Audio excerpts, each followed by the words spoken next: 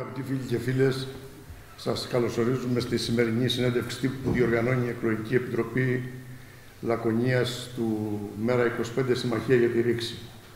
Βρισκόμαστε στην τελική ευθεία για τις εκλογές της 25ης Ιουνίου και διοργανώσαμε αυτή την ε, εκδήλωση έτσι ώστε να μπορέσουμε να επικοινωνήσουμε μέσω των ε, τοπικών μέσων ενημέρωσης με τους πολίτες στην Λακωνία. Ε, πριν παρουσιάσω τους ομιλητές, θέλω να καλωσορίσω ιδιαίτερα τους εκπροσώπους των ε, τοπικών μέσων ενημέρωσης ε, από το Νότος ε, Πρέσο, ο κύριος Πανάγος, από το ραδιοφωνικό σταθμό ο κύριος Κοντρόπουλος, από το Απέλα Τζιάρ ο κύριος Κωστιάνης και από το Λάκωνες Τζιάρ ο κύριος ε, Τσιμπίδης. Ευχαριστούμε για την ε, παρουσία σας στη σημερινή συνέντευξη τύπου. Ε, πριν δώσω το λόγο στους ε, ομιλητές, θα τους παρουσιάσω από δεξιά μου Κώστας Οντάσκας, ο οποίος είναι υποψήφιος βουλευτής του ΜΕΡΑ 25 Συμμαχία για τη Ρήξη στο Λακωνία και είναι και γραμματέας του ΜΕΡΑ 25. Η Δέσποινα Ισπανού είναι μέλος της Κεντρικής Εκλογικής Επιτροπής του ΜΕΡΑ 25 Συμμαχία για τη Ρήξη και ο, ο φίλος ο Σταύρος ο Χρυσαδάκος, υποψήφιος βουλευτής στο νομό της Λακωνίας. Ε, η διαδικασία είναι, δίνω το λόγο στους ε, τρεις εκπροσώπους του πάνελ για σύντομες εισαγωγικές ε, τοποθετήσεις και στη συνέχεια θα περάσουμε σε ερωτήσεις πρώτα από τα μέσα ενημέρωσης που τους ευχαριστούμε για μια ακόμη φορά και στη συνέχεια και από τους φίλους μας που βρίσκονται στη σημερινή ε, συνάντηση. Δίνω το λόγο να ξεκινήσει ο Κώστας Φουντάσκας. Ευχαριστώ. Ε, να καλωσορίσω και εγώ με τη σειρά μου τους εκπροσώπους του τύπου με μια πρώτη παρατήρηση ότι είναι πολύ σημαντικό και για την ποιότητα της δημοκρατίας να διασφαλίζεται η πλήρης πληροφόρηση των ε, πολιτών. Και αυτό που έχουμε δει σε όλη την προηγούμενη προεκλογική, ε, στην προηγούμενη προεκλογική περίοδο είναι ότι αυτό το καθήκον το επιτελούν με πολύ καλύτερο τρόπο τα τοπικά μέσα ενημέρωσης εν αντιθέσει με τα κεντρικά αθηναϊκά ε, μέσα ενημέρωσης τα οποία επέδειξαν μια τρομερά επιλεκτική παρουσίαση ε, των θέσεων των κομμάτων εις βάρος των, ε, των ειδικά εις βάρος των μικρότερων κομμάτων. Και αυτό αξίζει να σημειωθεί λοιπόν ο ρόλος που παίζουν τα, τα τοπικά μέσα ενημέρωσης και η σημασία τους.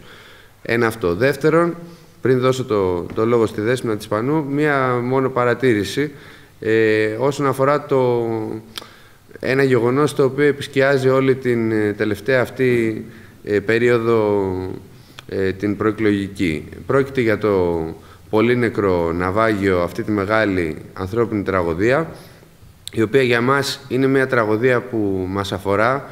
Νιώθουμε ότι οι άνθρωποι που χάθηκαν θα μπορούσαν να είναι και δικοί μας άνθρωποι και αυτό που συμβαίνει στη θάλασσά μας και μάλιστα εδώ από κάτω από την Πελοπόννησο ε, είναι μια εικόνα της ε, αδικίας αυτού του οικονομικού συστήματος στο οποίο ζούμε και της, ε, της υποκρισίας του, μια συνολική εικόνα. Από τη μία μεριά στο λακωνικό κόλπο έχουμε ένα αλυσβερίσι ε, πετρελαϊκό ε, όπου οι, υποτιθέμενες, οι υποτιθέμενοι διώκτες του, της Ρωσίας και του Πούτιν, ε, οι οποίοι δεν, δεν αφήνουν κανέναν να, να εκφράσει κάποια αμφιβολία για την ευρωπαϊκή πολιτική στο συγκεκριμένο θέμα, όποιος ε, ε, αμφισβητήσει το ρόλο της Ευρωπαϊκής Ένωσης και του ΝΑΤΟ ε, όσον αφορά το τι δεν έχουν κάνει για να εξασφαλίσουν την ειρήνη ε, στην πολύπαθη Ουκρανία, ε, χαρακτηρίζεται ως υποστηρικτής ε, του Πούτιν de facto. Απ' την άλλη, μια χαρά οι ίδιοι καναλάρχες που ε, διασπείρουν αυτή την προπαγάνδα δεν έχουν κανένα πρόβλημα με την άλλη τους ιδιότητα, την ιδιότητα του εφοπλιστή, να διακινούν ε, το συγκεκριμένο πετρέλαιο με τις ανταλλαγές που γίνονται εδώ κάτω από το λακωνικό κόλπο. Λίγο πιο δίπλα, σε αυτές τις, στις θάλασσές μας, ε, εμφανίζεται και το άλλο πρόσωπο της υποκρισίας, μιας Ευρωπαϊκής Ένωσης η οποία υποτίθεται πως εξασφαλίζει τα ανθρώπινα δικαιώματα, ε, η οποία ε, τα προηγούμενα χρόνια είχε ένα πάρα πολύ αρνητικό ρόλο στην αποσταθεροποίηση όλης της Μέσης Ανατολής, αλλά και των πετρελαιοπαραγωγών χωρών με στόχο να τις βάλει στο χέρι, ανέτρεψε καθεστώτα, ε, διέλυσε ολόκληρες χώρες, για παράδειγμα τη Λιβύη, και όταν μετά φεύγουν οι άνθρωποι αυτοί από τις διαλυμένες αυτές χώρες, ε, έχει μια πολιτική η οποία ε, είναι ανάλγητη ε, και δεν ε, νοιάζεται καθόλου για την ανθρώπινη ζωή. Οπότε, με αυτό θα δώσω το, το λόγο στη Δέσποινα. Αυτή την, εμείς καταγγέλουμε αυτή την υποκρισία του οικονομικού συστήματος και της ηγεσίας της Ευρωπαϊκής Ένωσης, η οποία λειτουργεί με τον πιο απάνθρωπο, απάνθρωπο τρόπο εν έτη 2023. Και αν είμαστε για κάποιο λόγο ενεργοί και ενεργές στην πολιτική, είναι για να αλλάξει αυτό το πράγμα, για να υπάρξει μια πολιτική με επίκεντρο πραγματικά ε, τον άνθρωπο. Αυτά. Γεια σας και από μένα. Χαίρομαι που είμαι εδώ και μπορούμε να συζητήσουμε και πραγματικά έχει δίκιο σε αυτό που είπε ο Κώστας ότι τα τοπικά μέσα ενημέρωσης είναι και πιο αντικειμενικά και πιο προλαριστικά. Γιατί στην, ε, τα κεντρικά, νομίζω το παρακολουθείτε όλοι, είναι πολύ επιλεκτικά στον τρόπο και, στο, και σε αυτούς που θα παρουσιάσουν, αλλά και στον τρόπο που θα παρουσιάσουν τις θέσεις τους. Λοιπόν, επομένως, εδώ μπορούμε να συζητήσουμε για τις εκλογές που έρχονται. Είναι η δεύτερη εκλογική μάχη που δίνεται μέσα στο 2023 και πριν αρχίσουμε δεν μπορούμε να μην κάνουμε μια αποτίμηση, έναν απολογισμό της προηγούμενης ε, εκλογικής μάχης, του αποτελέσματος δηλαδή της 21ης Μαΐου.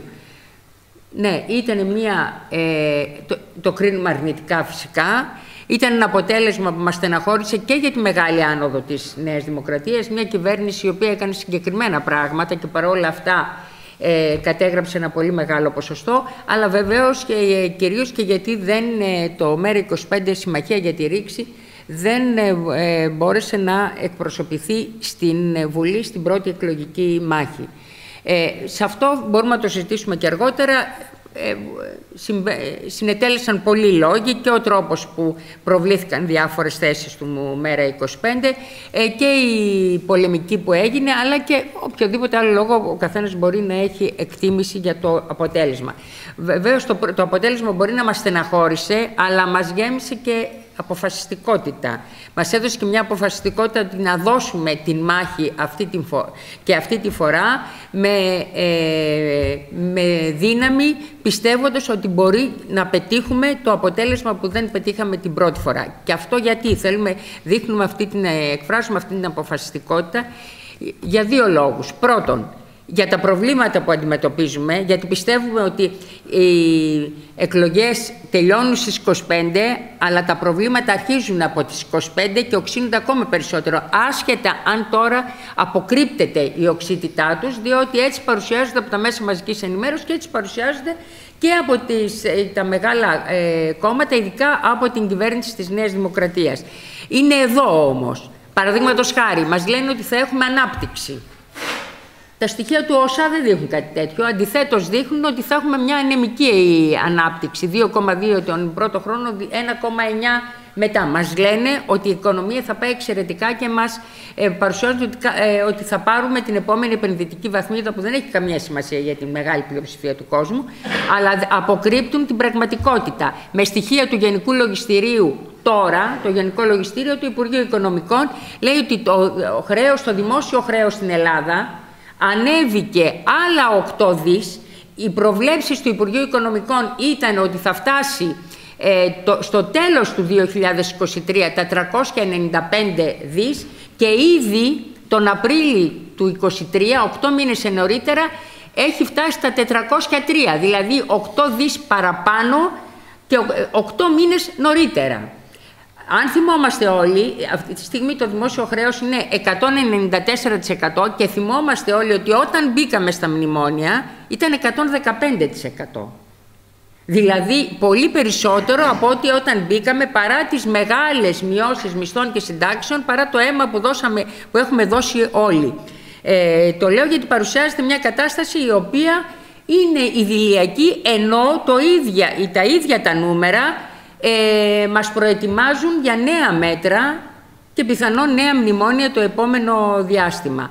Ε, μαζί με αυτό έχουμε τις μεγάλες αυξήσεις στα είδη ε, πρώτης ανάγκης. Ήδη τα τρόφιμα, ακόμα τον προηγούμενο μήνα, ανέβηκαν ακόμα ε, γύρω στο 12 με 14%, το φυσικό αέριο 23%, που δείχνει ότι τα πράγματα θα πάνε ακόμα χειρότερο, θα καταργηθεί, θα επανέλθει η ρήτρα αναπροσαρμογής για το ηλεκτρικό ρεύμα από πρώτη δεκάτου και θα έχουμε, έχουμε νέα αύξηση των επιτοκίων, που σημαίνει νέα αύξηση των κόκκινων δανείων. Ήδη προβλέπονται 50.000 πληστηριασμοί μέχρι το τέλος ε, του χρόνου και στην Αθήνα δεν υπάρχει ημέρα, δεν υπάρχει ημέρα που να μην γίνεται μία νέα έξωση. Έχουμε ξεπεράσει τα, τους πληστηριασμούς, έχουμε φτάσει στις εξώσεις. Και προβλέπονται βέβαια πολύ περισσότερα γιατί μαζί με την αύξηση του, του δημόσιου χρέους έχουμε έκρηξη του ιδιωτικού ε, γιατί, γιατί οι μισθοί και οι συντάξεις δεν επαρκούν για να μπορέσουν να αντιμετωπίσουν το κόστος ζωής την, ε, ε, οι δόσεις των δανείων λόγω της αύξησης των επιτοκίων έχουν αυξηθεί ακόμα περισσότερο και έχουν αυξηθεί πολύ περισσότερο τα κόκκινα δάνεια. Επομένως, θα έχουμε, το, ε, το επόμενο διάστημα θα έχουμε πολύ μεγάλα προβλήματα να αντιμετωπίσουμε, συν το γεγονός βέβαια των διαθέσεων της κυβέρνησης Μητσοτάκη, γιατί το αποτέλεσμα των εκλογών έδειξε ότι η κυβέρνηση, το πρώτο κόμμα, είναι δεδομένο ποιο θα είναι, προφανώς θα είναι δεδομένη και ποιος θα πάρει εντολή για ε, κυβέρνηση.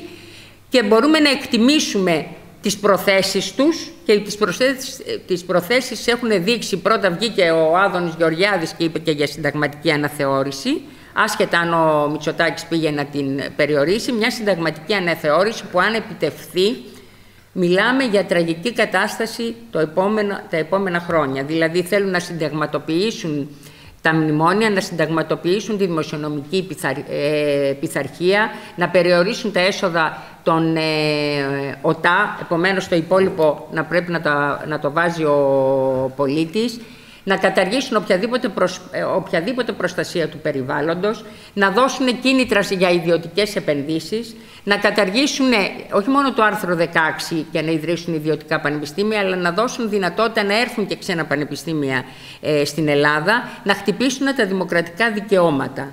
Το, ένα το σύνταγμα δηλαδή του 1975 που όταν έγινε ήταν κάτω από την πίεση του κινήματος στις συνθήκες τότε και ήταν ένα δημοκρατικό σύνταγμα Τροποποιήθηκε βέβαια στην πορεία. Τώρα να αλλάξει εντελώς, να ξεκαθαρίσουν, το έχει πει πολλές φορές ο Μητσοτάκης, με την αντιπολίτευση, με την μεταπολίτευση, με την περίοδο εκείνη δηλαδή που είχαμε και ε, κατακτήσεις. Όλα αυτά είναι προβλήματα που αντιμετωπίζει η χώρα μας, συν το γεγονός αναφέρθηκε ο Κώστας στο μεταναστευτικό, στα εθνικά ζητήματα κτλ. Θα τα αντιμετωπίσουμε το επόμενο διάστημα και επομένως χωρίς, ε, για, να, για να αντιμετωπιστούν δεν είναι, πρέπει να υπάρχει και μια ισχυρή αντιπολίτευση. Η αντιπολίτευση η οποία θα, εκφραστεί, θα εκφράζεται και, στην, και στο κοινοβούλιο αλλά και στους δρόμους μπορεί να σταματήσει, μπορεί να περιορίσει την ε, επιθετικότητα ε, των, ε, της νέας δημοκρατίας και συνολικά βέβαια των κομμάτων αυτών των ε, μνημονιακών, αλλά μιλάμε για νέα δημοκρατία, γιατί όπως φαίνεται η νέα δημοκρατία θα είναι, με βάση και τα αποτελέσματα και τις προηγούμενες, ε, των προηγούμενων εκλογών, θα είναι το κόμμα αυτό που θα, ε, θα του δοθεί εντολή για να σχηματίσει κυβέρνηση.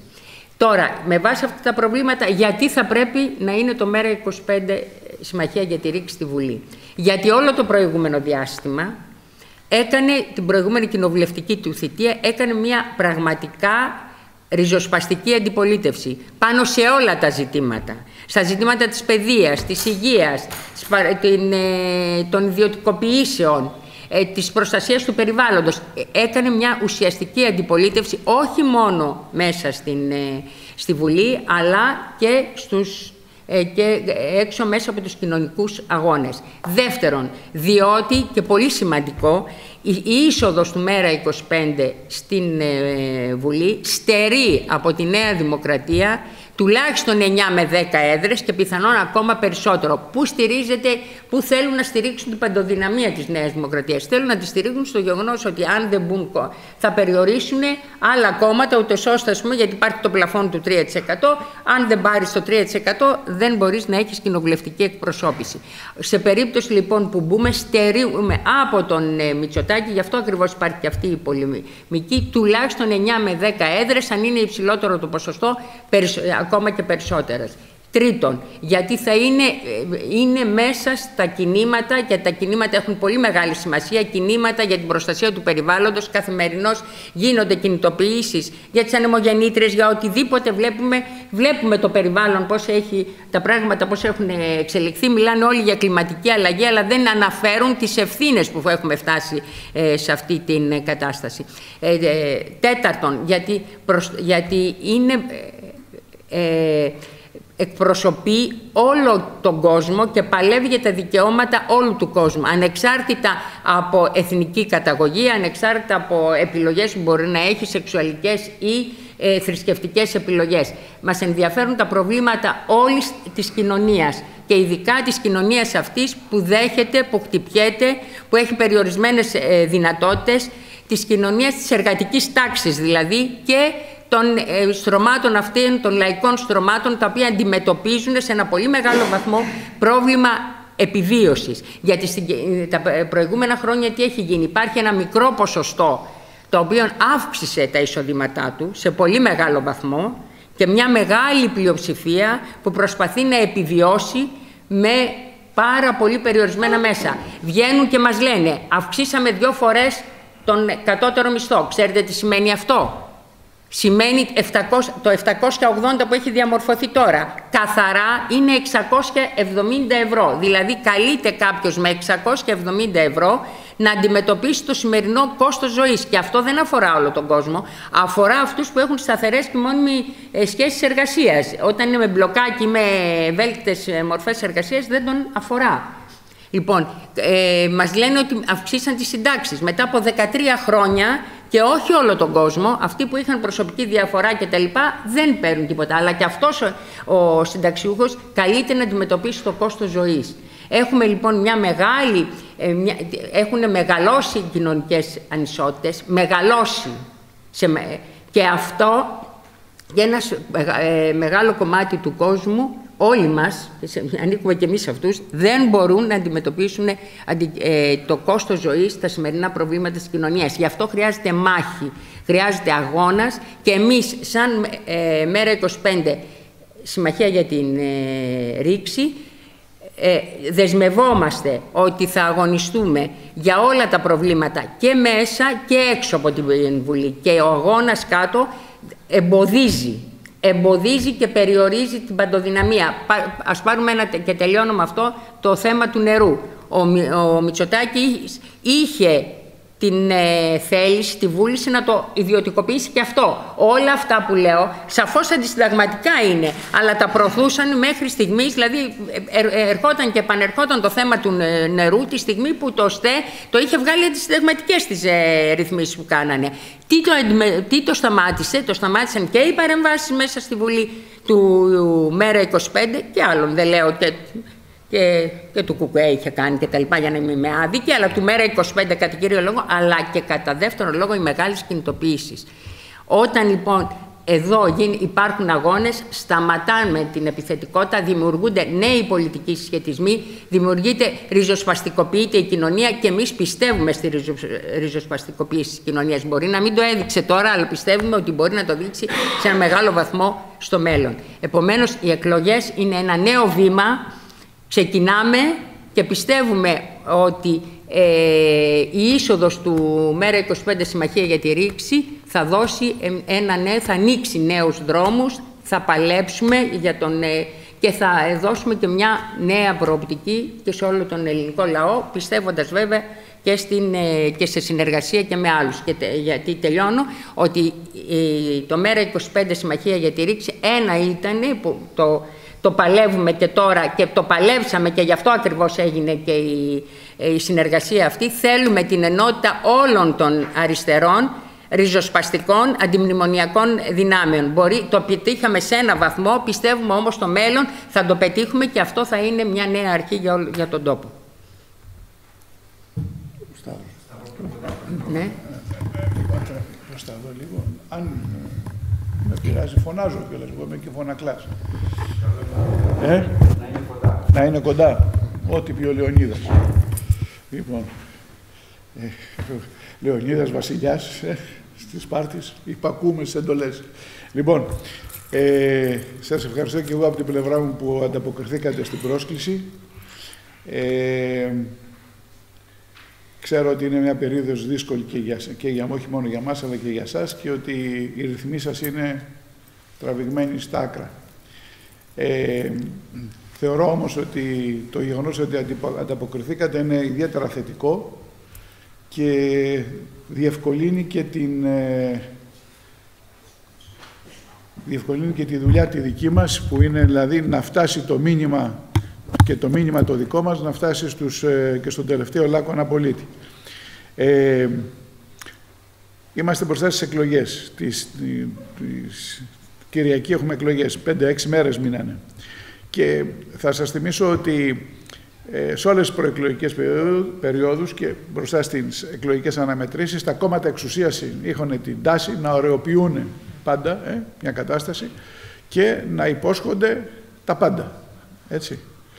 Ε, θυμάστε εδώ τα τοπικά, εδώ στη γέφυρα του Ευρώτα, η γέφυρα της Κούρας, το θυμάστε, κάθε φορά που είχαν, ε, οι παλιότεροι, το σχετικό ανέκδοτο, ε, κάθε φορά που είχαμε εκλογές, ε, πήγαινε ο υποψήφιος τότε βουλευτής, έβαζε εργάτες και ξεκινάγανε και σκάβανε το θεμέλιο της, ε, της γέφυρας. Ότι να, η γέφυρα θα γίνει. Η γέφυρα δεν έγινε ποτέ, αλλά αυτός έβγαινε βουλευτής επί σειρά ετών. Το ξέρετε, το θυμάστε το ανέκδοτο. Λοιπόν, τα κόμματα εξουσίας λοιπόν έχουν την τάση να οροποιούν και να υπόσχονται τα πάντα. Να υπόσχονται παραδείσους, οικονομικούς, πολιτιστικούς, περιβαλλοντικούς κλπ. Ε, όμως σε τούτη εδώ την προεκλογική περίοδο τα υποσχέσεις και τα, τα τάματα ξεπέρασαν τα όρια και μαζί με τα, τις υποσχέσεις όμως διαπιστώσαμε και τι πράγμα. Το μέγεθος της υποκρισίας των κομμάτων εξουσίας. Την απόκρυψη της αλήθειας, την απόκρυψη δηλαδή της πραγματικής κατάστασης της χώρας και των προοπτικών που ανοίγονται και σας υπενθυμίζω ότι ε, μπροστά στην ε, άκρα, άκρατη υποσχεσιολογία μέχρι και ο διοικητής της Τράπεζας της Ελλάδας, ο κ. Τουρνάρας, βγήκε και τους έβαλε φρένο και τους είπε ότι «Επ, προσέξτε γιατί δεν υπάρχει δημοσιονομικός χώρος.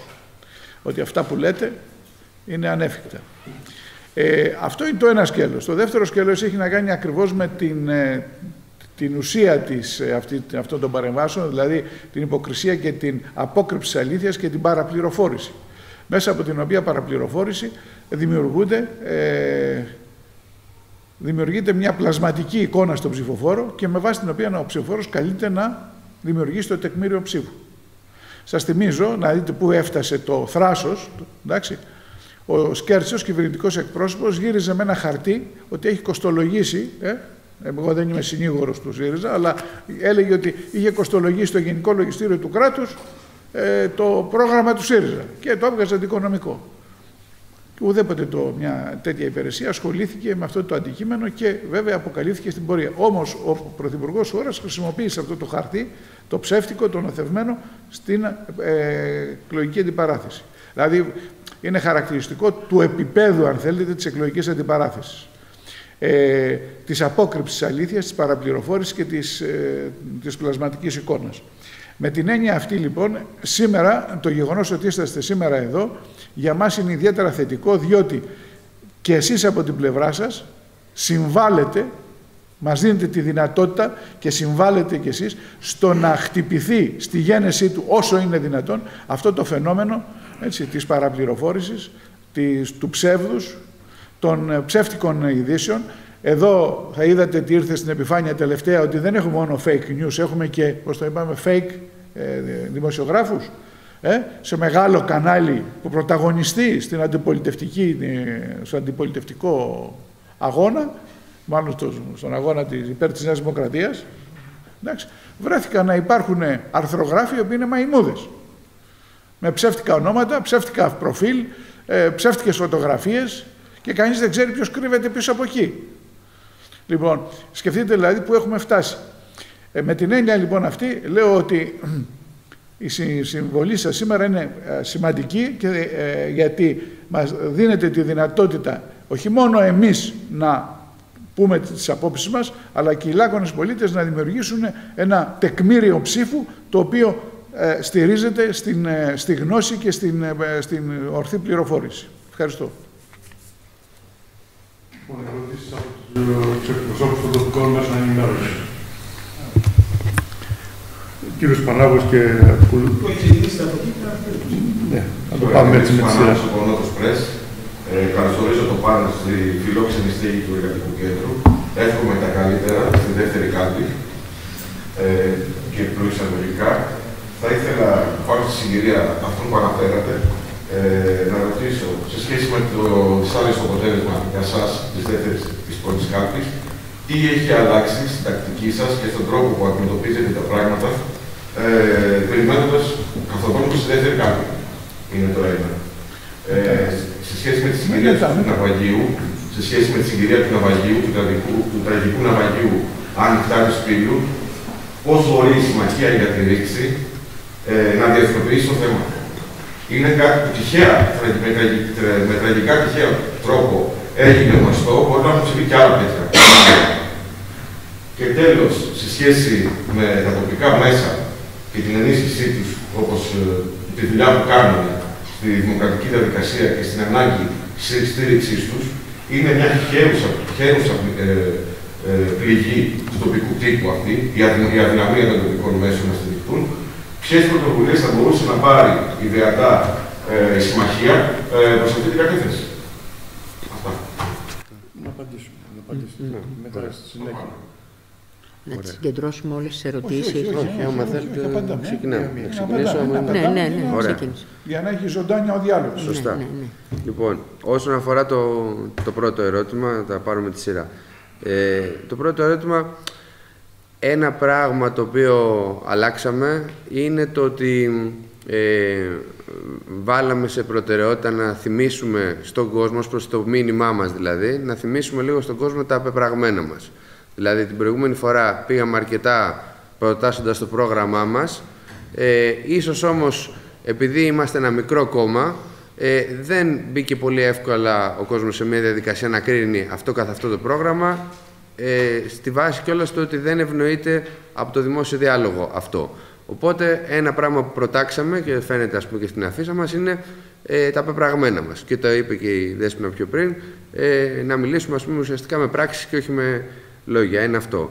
Δεύτερον, δώσαμε ακόμα μεγαλύτερη σημασία στην ηλεκτρονική επικοινωνία, διότι όντως ε, η τηλεοπτική και τα, η επικοινωνία στα μεγάλα κανάλια είναι κατά κάποιο τρόπο ναρκοθετημένη. Οπότε δώσαμε περισσότερη σημασία εκεί και συνεχίσαμε, δεν μπορώ να πω ότι τα αλλάξαμε όλα, συνεχίσαμε να πηγαίνουμε και πόρτα-πόρτα και γειτονιά-γειτονιά και το εντείναμε λίγο περισσότερο και μέχρι στιγμής έχουμε δει αρκετά ε, καλή ανταπόκριση. Ένα αυτό. Δεύτερον, όσον αφορά το, το ερώτημα για τη διεθνοποίηση, ακριβώς ε, πάνω σε αυτή την κατεύθυνση, πρώτον πήγα, πήγα την προσωπία δική μας επιτόπου ε, στην Καλαμάτα αμέσως μετά το, το συμβάν και επιδίωξε να, να μιλήσει με όλους τους εμπλεκόμενους ε, και τους ανθρώπους, ε, τα θύματα αυτής της ε, τραγωδίας, τους διασωθέντες, αλλά και με τις αρμόδιες αρχές, θέτοντας κατά κύριο λόγο ερωτήματα και έχουμε ζητήσει και διαστόματος του, του Γιάννη του Βαρουφάκη, το οποίο το έχει κάνει και σε ελληνικά μέσα και σε διεθνή, μία ανεξάρτητη διερεύνηση του συγκεκριμένου συμβάντος, έτσι ώστε να έχουμε να αποδοθεί ε, μια πραγματική εικόνα του τι έφτεξε, ε, με στόχο ακριβώς όχι να, ε, το λιγότερο είναι το να αποδοθεί ευθύνη σε έναν-δύο υπηρεσιακούς παράγοντες τοπικούς. Αυτό θα έπρεπε να θεωρείται αυτονόητο. Εάν όμως ξεκινήσει αυτό το ε, κουβάρι να ξετυλίγεται, έχει μεγάλη σημασία το ότι δεν θα μείνει εκεί και δεν πρέπει να μείνει εκεί. Αλλά πρέπει να γίνει αρχή για να μπορέσει να ξετυλιχτεί και να πάει η ευθύνη εκεί ψηλά. Και η ευθύνη, κατά τη γνώμη μας, φτάνει μέχρι τις, την ευρωπαϊκή ηγεσία. Έτσι, έχει μοιράσει κάποιους ρόλους. Ουσιαστικά έχει μοιράσει στην Ελλάδα, στην Τουρκία, στην Ιταλία, σε διάφορες χώρες γύρω-γύρω τον ρόλο του δεσμοφύλακα, του συνοριοφύλακα, να κάνει τη βρώμικη δουλειά. Έτσι, την οποία όμως η, η πηγή του κακού είναι η ευρωπαϊκή πολιτική. Αυτός είναι ο σκοπός μας και εμείς. Ε, έχοντας ό,τι δυνατότητες μπορούμε να έχουμε, γιατί έχουμε και μια διεθνή ε, διασύνδεση μέσω και του DM25 που, είναι, που είμαστε κομμάτι του ε, και της προοδευτικής διεθνούς, προσπαθούμε να το διεθνοποιήσουμε όσο ε, περισσότερο γίνεται. Τώρα, όσον αφορά το τρίτο για τα τοπικά μέσα ενημέρωσης, εμείς από όταν, από, επί της προηγούμενης κυβέρνησης, έχουμε θίξει το θέμα, δηλαδή το θέμα της χρηματοδότησης και της ε, ενίσχυσης των τοπικών προσπαθειών, αλλά με έναν τρόπο τελείως διαφορετικό από αυτόν που έκανε η κυβέρνηση. Η κυβέρνηση ουσιαστικά το έκανε με έναν τρόπο όπως το έχουμε μάθει χρόνια τώρα σε πολλά πράγματα σε αυτή τη χώρα δυστυχώς, με ένα πελατειακό τρόπο ε, και με έναν τρόπο ε, ad hoc κατά περίπτωση, ώστε ε, ο, τα, στην περίπτωση μας τα μέσα ενημέρωσης, αλλά σε άλλες περιπτώσεις μπορεί να είναι εργαζόμενοι στους Δήμους κτλ. Αυτός ο τρόπος, ο πελατειακός, ο κάθε φορά περιμένω τον ηγεμόνα κάτι, ότι, να δώσει ό,τι προαιρείται, αυτός είναι ο τρόπος μιας εξουσίας να διατηρεί και να ενδυναμώνει την εξουσία της. Εμείς έχουμε μιλήσει για ε, ταμεία χρηματοδότησης, τα οποία είναι για παράδειγμα συνεργατικά ταμεία ε, χρηματοδότησης. Υπάρχουν τέτοια ε, ταμεία προβλέπονται και είναι κομμάτι της νομοθεσίας μας με βάση τις κατακτήσεις της ευρωπαϊκές. Ε, το Ταμείο Κοινωνικής Οικονομίας υπάρχει, έχει φτιαχτεί, αλλά είναι άδειο από χρηματοδότηση. Υποχρεώθηκαν οι ελληνικές κυβερνήσεις να το φτιάξουν βάσει ευρωπαϊκών νομοθεσιών, αλλά το έχουν αφήσει άδειο. Αυτό το είχαμε δει, σας λέω, δεν ήταν η αφορμή τα μέσα ενημέρωσης, αλλά για εμάς θα μπορούσε να, να έρθει και στα μέσα ενημέρωσης αυτό. Διότι η πηγή του, του κακού όσον αφορά το τοπίο της ενημέρωσης στη χώρα είναι η ιδιοκτησία. Έτσι, ότι η συντριπτικά μεγαλύτερη δύναμη βρίσκεται σε συγκεκριμένους ολιγάρχες, όπως συνηθίζουμε να λέμε εμείς, οι οποίοι εξυπηρετούν τελείως διαφορετικά συμφέροντα από την, ε, αυτή, καθ' αυτή την ενημέρωση. Να συμπληρώσω κάτι, ναι. Λοιπόν, ε, καταρχήν βέβαια είπε και ο Κώστας, ε, αναφερόμαστε πολύ περισσότερο στο τι έχουμε κάνει μέχρι τώρα. Και αυτά που έχουμε κάνει μέχρι τώρα, ε, πραγματικά και χωρίς ε, έτσι, ίχνος, χωρίς έπαρση, ε, είναι πράγματα που δεν είχαν γίνει από άλλα. Δηλαδή, αναφέρθηκε τώρα ότι υπάρχει στον τύπο, ποτέ δεν είχαμε δει τα τελευταία χρόνια, τις τελευταίες και εσείς θα το θυμάστε, τέτοια στήριξη του τύπου στο σύνολό του. Σε μία κυβέρνηση δεν το έχουμε ξαναδεί. Πάντα υπήρχε και κάποιος αντιπολιτευόμενος τύπος. Τώρα όσο περνάει ο καιρός και, τα και στα χέρια μεγάλων ε, οικονομικών παραγόντων βρίσκονται και τα μέσα μαζικής ενημέρωσης, τα οποία υπάρχει διαπλοκή, δηλαδή η ενίσχυση κτλ. Από το Ταμείο Ανάκαμψης περιμένουν όλοι να πάρουν χρήματα και πήραν και περιμένουν να πάρουν άλλα. Τότε στηρίζεται, ε, ο τύπος είναι προσανατολισμένος στο να ε, παρουσιάσει ή το κυβερνητικό έργο ή τέλος πάντων να ενισχύσει τον, ε, τους φορείς που εκείνοι, που εκείνοι θέλουν. Εμείς, ας πούμε, το ζήσαμε και το προηγούμενο διάστημα, το πόσο διαστρεβλώθηκαν οι θέσεις μας όσον αφορά τη Δήμητρα, δηλαδή τις τράπεζες. Τις τράπεζες. Οι τράπεζες αυτή τη στιγμή, μόνο με τα στοιχεία που υπάρχουν, μόνο οι τέσσερις συστημικές τράπεζες έχουν οι τραπεζίτες 3,7 δις τον προηγούμενο χρόνο κέρδη κέρδη από προμήθειες, κέρδη από χίλια δυο που έχουν ανακεφαλαιοποιηθεί. Λοιπόν, και φυσικά είναι, έχουμε ε, ελάχιστα μηδενικά ε, επιτόκια καταθέσεων, τεράστια επιτόκια δανεισμού. Τα επιτόκια δανεισμού έχουν φτάσει στο 5,5%. Ε, λοιπόν, και αυξάνονται διαρκώς, τα κατανολητικά ξέρουμε τι γίνεται και ακριβώς και όλα αυτά είναι μια θηλιά στο λαιμό ε, των δανειοληπτών και συνολικά ημών, όλων ε, μας. Όμως, όταν πήγε να ελεγχθεί μια πώς θα μπορούσε να αλλάξει μια διαδικασία και να γίνει πιο εύκολη χωρίς προμήθειες, έγινε, διαστρεβλώθηκαν, ε, διαστρεβλώθηκαν τα πάντα, διας, ε, μόνο και μόνο για να προκαλέσουν τον, τον φόβο στον κόσμο. Λοιπόν, εμείς και μόνο που, ε, προ, ε, που προβλήθηκε, προβλήθηκε αυτό ή και που αναφέραμε και συγκεκριμένα ονόματα. Κοιτάξτε να δείτε, ολιγάρχες δεν είναι κάτι μεταφυσικό φαινόμενο. Έχει, ε, έχουν ονόματα, είναι πρόσωπα με συγκεκριμένα ονόματα και μόνο που ελέγχθη αυτό έγινε έγινε ένας χαμός. Έχουμε δηλαδή, υπάρχει συγκεκριμένο συγκρότημα που δεν μπορείς να μπεις ούτε απ' έξω. Ε, λέω το συγκρότημα Μαρινάκη. Το συγκρότημα Μαρινάκη αποκλείεται, δεν έχει σημασία, όποια και να είναι η κατευθύνση, όποια και είναι η διακομματική και το προηγούμενο διάστημα. Και τώρα απαγορεύεται η, η έκφραση, η προβολή οποιοδήποτε ε, στελέχους, η παρουσία οποιοδήποτε στελέχους του ΜΕΡΑ 25 Συμμαχία για τη ρήξη. για συγκεκριμένους λόγους. Γι' αυτό λέμε ότι γίναν πράγματα, προσπαθούμε να δείξουμε και να αναδείξουμε τις θέσεις μας που πιστεύουμε ότι είναι ε, θέσεις που είναι προς όφελος ε, του ελληνικού λαού. Και τελευταία για τις γιατί είναι και η μέρα των προσφύγων σήμερα. Δηλαδή είναι το τραγικό, είναι η μέρα των προσφύγων ε, σήμερα. Λοιπόν, ακόμα και εκεί δεν προβάλλεται οι, θε, οι ουσιαστικές θέσεις. Τα βάζουν όλοι τώρα με τους διακινητές. Οι διακινητές είναι ένα σύμπτωμα, ένα, δεν τους, ε, βεβαίως ε, είναι, αλλά ε, ε, είναι αποτέλεσμα της πολιτικής αυτής που, των κλειστών συνόρων, δηλαδή ότι ο άλλος δεν μπορεί να φύγει με κανονικά χαρτιά που θέλουν όλοι αυτοί που ήταν εδώ, θέλουν να πάνε σε χώρες της Ευρώπης. Ήρθαν οι συγγενείς τους να τους ε, βρουν τώρα. Και όμως απαγορεύεται γιατί η Ευρώπη η οποία μιλάει για δημοκρατικά δικαιώματα και για ανθρώπινα δικαιώματα απαγορεύει την είσοδο ε, στις χώρες αυτές και η Ελλάδα έχει αποδεχθεί και τις συνθήκες αυτές και η κυβέρνηση Νέας Δημοκρατίας του Πασό και η κυβέρνηση του ΣΥΡΙΖΑ όταν ήταν, όχι απλώς και μόνο τις συνθήκες αυτές, αλλά και την συμφωνία ΕΕ-Τουρκία που έγινε το 2016 και με βάση αυτή η Ελλάδα έχει γίνει αποθήκη ψυχών. Όλο αυτό λοιπόν, χωρίς να, να, να ε, αναδείξουν ότι αυτοί οι άνθρωποι, ποιος φεύγει από τον τόπο του σε τέτοιες συνθήκες, αν μπορεί να επιβιώσει στον τόπο αυτόν. Σημαίνει ότι βρίσκεται σε τραγική απελπισία. Με τα στοιχεία που υπάρχουν, μόνο τα τελευταία χρόνια 27.000 άνθρωποι έχουν χάσει τη ζωή τους στη Μεσόγειο. 27.000 άνθρωποι. Αυτό το δυστύχημα μπορεί να ήταν το έγκλημα, μπορεί να, ήταν και το, να είναι και το πιο πολύ νεκρό, γιατί δεν είναι που έχει γίνει τα τελευταία χρόνια και 30 Μάη είχαμε, έξω από τη Μύκονο είχαμε πάλι νεκρούς και πάρα πολλούς από την αρχή του χρόνου.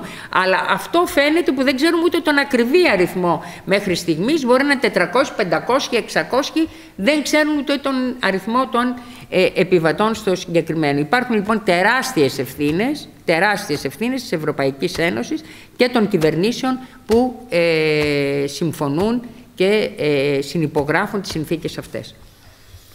Εμείς θέλουμε αυτό να το αναδείξουμε γενικά, όσο μπορούμε και με όποιους τρόπους ε, μπορούμε. Να προσθέσω, να προσθέσω στη, στο, τελευταίο, στο ερώτημα για τη διεθνοποίηση ε, του, γεγονότος, του, τραγικού γεγονότος. Ε, ε, ήδη έχει πάρει, είτε το θέλουμε είτε όχι, έχει πάρει διαστάσεις ε, παγκόσμιες. Ε, όλος ο διεθνής τύπος ε, Guardian Times, ε, γράφουν συνέχεια για το τι έγινε στην, ε, για το τι έγινε στην Πύλο. Ε, βέβαια, εδώ θα πρέπει να δούμε δύο ζητήματα. Ένα αυτό που είπε ο Κώστας, να δούμε τι έφτεξε και οι άνθρωποι αυτοί γούλιαξε αυτό το σάπιο κάραβο και χάσαν τη ζωή τους. Αυτό είναι το ένα ζήτημα. Δηλαδή και η, ανάρτη, αναζήτηση ευθυνών ε, για αυτό καθ' αυτό το γεγονός, που έχει τη δική του σημασία και τη δική του διάσταση. Υπάρχει όμως και το άλλο, το οποίο το αποκρύπτουν οι, οι ευαίσθητες αυτές εφημερίδες που ανέφερα προηγούμενα. Από πού προερχόντουσαν οι άνθρωποι αυτοί; Και ε, ποιες, είναι, ποιες, είναι οι αιτίες, οι λόγοι όπου μια σειρά, σε μια, από μια σειρά χώρες Λοιπόν, ο κόσμος θέλει να μετακινηθεί, εγκαταλείπει τα σπίτια του και αναζητάει ε, τόπους με, με πιο, πιο ειρηνικούς για να μπορέσει να ζήσει. Το ερώτημα είναι ποιος έβαλε φωτιά στη Συρία; Ποιος έβαλε φωτιά; Στο Αφγανιστάν. Ποιος έβαλε φωτιά στο Αφγανιστάν; Ποιος έβαλε, φωτιά, ποιος έβαλε φωτιά στη Λιβύη; Τους έφτιαξε ο Καντάφη και το αυταρχικό καθεστώς του Καντάφη. Το αποτέλεσμα ήταν να έχει η Λιβύη κοπεί στα δύο, να έχουμε φυλές αντιμαχόμενες και να κάνουν κουμάντο στα δύο κομμάτια που έχει δημιουργηθεί στη Λιβύη, να κάνουν κουμάντο οι πετρελαϊκές εταιρείες. Και αν έχετε παρακολουθήσει και τις, τα γραφόμενα και τις πληροφορίες που έρχονται από εκεί, έχουν εμφανιστεί και σύγχρονες μορφές δουλεμπορίου. Στη Λιβύη υπάρχουν, πουλούνται άνθρωποι. Γίνεται παζάρι, πουλάνε ανθρώπους ε, όπως γινόταν πριν από 150-200 χρόνια. Άρα λοιπόν από αυτές τις συνθήκες κάποιοι θέλουν να φύγουν, θέλουν να αναζητούν ένα καλύτερο αύριο και ρισκάρουν τα πάντα. Λοιπόν, κόλαση εκεί που είναι, κόλαση και ένα εκεί μπροστά τους, ε, την οποία πρέπει να διαβούν. Και το αποτέλεσμα είναι ότι οι Ευρωπαίοι με την πολιτική που έχουν ακολουθήσει έχουν κάνει την Μεσόγειο ένα απέναντι νεκροταφείο. Υπολογίζεται ότι έχουν πνιγεί τα τελευταία χρόνια γύρω στις 25 με 26 άνθρωποι. Αυτά είναι τα αποτελέσματα μιας πολιτικής, αυτή, αυτό που είπαμε προηγούμενα, η οποία πολιτική υπαγορεύεται από τα συμφέροντα του ευρωπαϊκού κεφαλαίου. Εντάξει.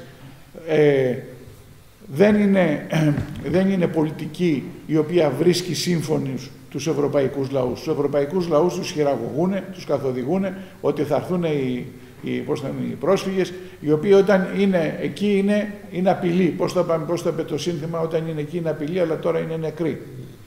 Λοιπόν, και για να δούμε λοιπόν και την υποκρισία της ε, πολιτικής Ευρωπαϊκής Ένωσης, η οποία πρέπει να αλλάξει, πρέπει να αλλάξει άμεσα, δείτε τη διαφορετική αντιμετώπιση που είχαν οι Ουκρανοί και αυτοί οι πρόσφυγες λόγω πολέμου. Ε; Εκεί φτιάχναμε καραβάνια, ε, σταθμούς υποδοχής, ε, ε, ε ψυχολογικής υποστήριξης, ηλικικής υποστήριξης κτλ. Οι άλλοι δεν είναι άνθρωποι. Δηλαδή οι, αρχές, οι ουμανιστικές αρχές, οι αρχές του ανθρωπισμού πήγανε περίπατο. Λοιπόν, ε, η ουσία λοιπόν είναι ότι θα πρέπει να αντιδράσουν οι λαοί, γιατί μόνο οι λαοί μπορούν να βάλουν φρένο σε αυτές τις ε, απάνθρωπες πολιτικές και μέσα από τα κινήματά τους και τις, ε, την, την ανάπτυξη αγώνων να επιβάλλουν την, αυτή την αλλαγή αυτών των απάνθρωπων κανονισμών και των απάνθρωπων ε, διακρίσεων. Κύριε Σοδρόπουλος. Ε, από το ραδιόφωνο Πολιτεία. Ε, σχετικά με το αποτέλεσμα της προηγούμενης Κυριακής. Ο Έλληνας ψηφοφόρος που ανησυχεί για το πώς θα είναι η ζωή του μετά τις 25 Ιουνίου, μετά τις δεύτερες εκλογές. Πώς θα πρέπει να σκεφτεί να στηρίξει το δεύτερο κόμμα για να μικρύνει η διαφορά μεταξύ του πρώτου και του δεύτερου ή ακόμα και το τρίτο κόμμα ή να στηρίξει τα μικρότερα κόμματα, τουλάχιστον αυτά που έχουν μια δυναμική έτσι ώστε να έχουν περισσότερα κόμματα μέσα στη Βουλή. Ναι, καλά, εντάξει. Λοιπόν, κοιτάξτε, ο Έλληνας ψηφοφόρος πρέπει να δει ποια είναι τα προβλήματα που υπάρχουν και να δει και τα προγράμματα των κομμάτων. Δεν έχει να κάνει μόνο τι είναι, αν είναι μικρότερη ή μεγαλύτερη διαφορά. Κανένας μας δεν περίμενε ότι θα αυξηθεί, θα μεγαλώσει τόσο πολύ διαφορά μεταξύ Νέας Δημοκρατίας και ΣΥΡΙΖΑ. Γιατί έγινε αυτό, διότι την προηγούμενο διάστημα μπορεί να έχουμε μια πολύ κακή κυβέρνηση, για μένα τη χειρότερη μεταπολιτευτικά, αλλά είχαμε και τη χειρότερη αντιπολίτευση. Δηλαδή μια αντιπολίτευση που δεν έλεγε τίποτα συγκεκριμένο για κανένα θέμα. Για κανένα θέμα. Ακόμα τώρα και για το, για το έγκλημα αυτό του ναυαγίου, το ζήτημα εξαντλείται σε άλλα, γιατί δεν θέλουν καθόλου να θίξουν τι έχει συμβεί, ποιες είναι οι συνθήκες τις οποίες έχουν υπογράψει με την ε, Ευρωπαϊκή Ένωση, τι έγινε με την ε, Συμφωνία ΕΕ Τουρκίας κτλ. Επομένως, ο Έλληνας ε, ψηφοφόρος πρέπει να στηρίξει κόμματα που να έχουν ριζοσπαστικό πρόγραμμα και να ξέρει ότι θα παλέψουν ζητήματα και μέσα στην ε, Βουλή και έξω. Το ΜΕΡΑ25 έχει τέτοιο ριζοσπαστικό πρόγραμμα. Δεύτερον, πλαισιώνεται, τα στελέχη του είναι άνθρωποι που έχουν δώσει εξετάσεις. Έχουν δώσει εξετάσεις. Ήταν άνθρωποι που ήταν και φύγανε, το 15 φύγανε για να μην υπογράψουν μνημόνιο. Δεν έχει ξαναγίνει κάτι τέτοιο. Δηλαδή και, από την, ε, και εμείς που ήμασταν, εγώ είμαι από τη Λαϊκή Ενότητα, 37 βουλευτές φύγανε ε, και δεν υπέγραψαν. Δεν είχε ξαναγίνει ιστορικά, αλλά και από το ε, Μέρα 25 και ο Γιάννης ο Βαρουφάκης, η Σοφία Σακοράφα και τα λοιπά. Ήταν άνθρωποι που φύγανε. Ναι. Ναι, η, δεν ήταν, αναφέρθηκα στο ΜΕΡΑ 25. Η Βαλαβάνη ήταν, σε, ήταν στη Λαϊκή Ενότητα. Λοιπόν, ε, ήταν άνθρωποι που φύγανε, έχουν δείξει τη συνέπεια. Και έχουν δείξει τη συνέπεια και με τις πράξεις του και με τις προτάσεις τους και μέσα στη Βουλή το προηγούμενο διάστημα, αλλά και ε, και έξω και με τα κινήματα. Θυμάστε τι έγινε στην κινητοποίηση για την, ε, για την διαδήλωση του Πολυτεχνείου το 2020. Τότε η Νέα Δημοκρατία έχει ψηφίσει και νόμο να απαγορεύονται και οι διαδηλώσεις. Τον έχει ψηφίσει αυτόν τον νόμο. Δεν μπόρεσε να τον ε, υλοποιήσει γιατί υπήρξε αντίδραση από κάτω και δεν υλοποιήθηκε. Υπήρξαν στιγμές που έγινε μεγάλη κινητοποίηση συνολικά. Βέβαια κατέβηκαν και, κατέβηκε και το Κομμουνιστικό Κόμμα. Αλλά μιλάμε για μια για αντίδραση συνολική. Και σε σχέση που αυτό σημαίνει δημοκρατικό δικαίωμα. Το δικαίωμα να διαμαρτύρεσαι είναι βασικό δημοκρατικό δικαίωμα. Λοιπόν, έχουν εκφράσει λοιπόν, την, έχουν δώσει εξετάσεις, έχουν, δείξει, έχουν ε, προβάλει τις θέσεις τους και στη Βουλή, έχουν δείξει τον αγώνα τους και στους δρόμους, επομένως είναι εγγύηση ότι μπορεί η ενίσχυση, σύν το γεγονός ότι θα αφαιρέσει κέντρες από τη Νέα Δημοκρατία, να αποτελέσει μία ριζοσπαστική αντιπολίτευση. Και να πω κάτι άλλο. Τίποτα δεν είναι ε, στη ζωή στατικό. Όλα αλλάζουν. Σας θυμίζω ότι όταν, έγινε το μνημόνιο, όταν ε, έγιναν τα μνημόνια, ο ΣΥΡΙΖΑ τότε είχε 4,6%. Τον Οκτώβριο του 2009, 4,6%. Συμμετείχε σε όλες τις κινητοποιήσεις για την κατάργηση των ε, μνημονίων, δεσμεύτηκε γι' αυτό, άσχετα τι αποτέλεσμα είχε, αλλά ο κόσμος μπορεί ριζοσπαστικοποιείται μέσα από αγώνες, μπορεί να αλλάξει πολιτικούς συσχετισμούς και μπορεί να έχουμε μία άλλη καλύτερη εξέλιξη. Να μην επαναληφθεί το 2015, αλλά να έχουμε μια πραγματικά καλύτερες εξελίξεις. Διαφορετικά δεν μπορούμε. Είπαμε, ας πούμε, το προηγούμενο διάστημα στην, στην Ελλάδα δεν είναι απλώς και μόνο ότι ξεπουλήθηκε ο δημόσιος ε, πλούτος, ότι φτωχύναμε οι άνθρωποι, ξεπουλήθηκε ο δημόσιος πλούτος.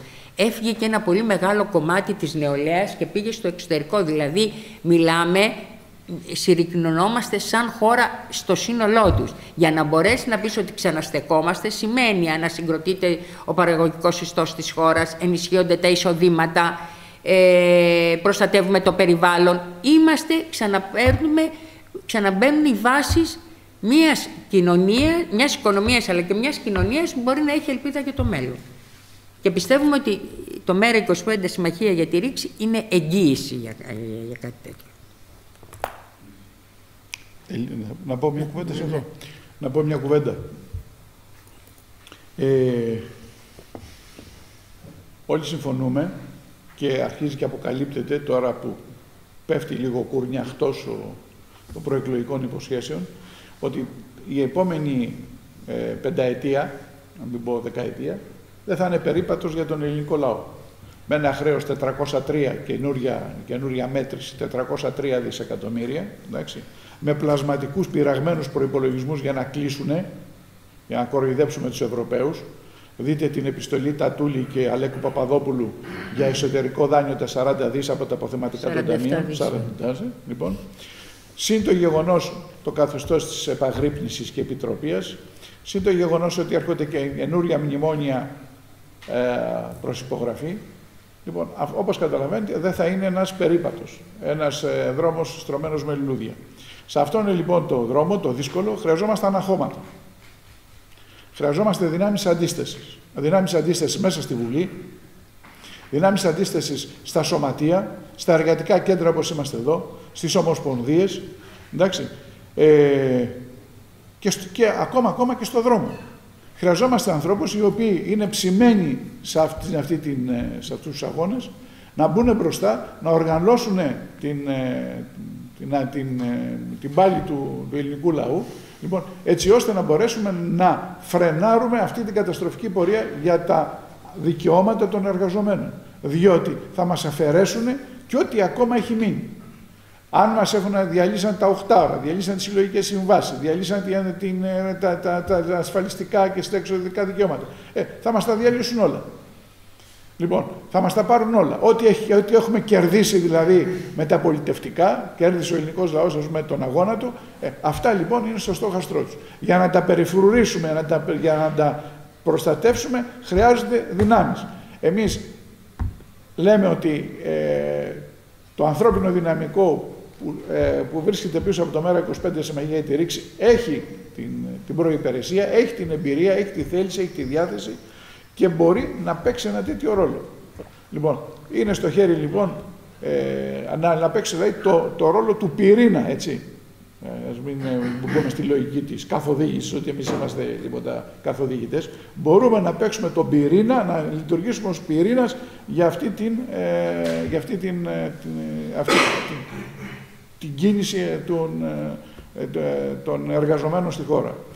Και το γεγονός ότι εμείς αυτή τη στιγμή είμαστε και ένα εκλογικό μέτωπο δείχνει ακριβώς και την, ε, αν θέλετε, και την, ε, την κουλτούρα μας στο επίπεδο των συνεργασιών. Δεν είμαστε εκείνοι οι άνθρωποι οι οποίοι θεωρούμε ότι κατέχουμε την απόλυτη αλήθεια.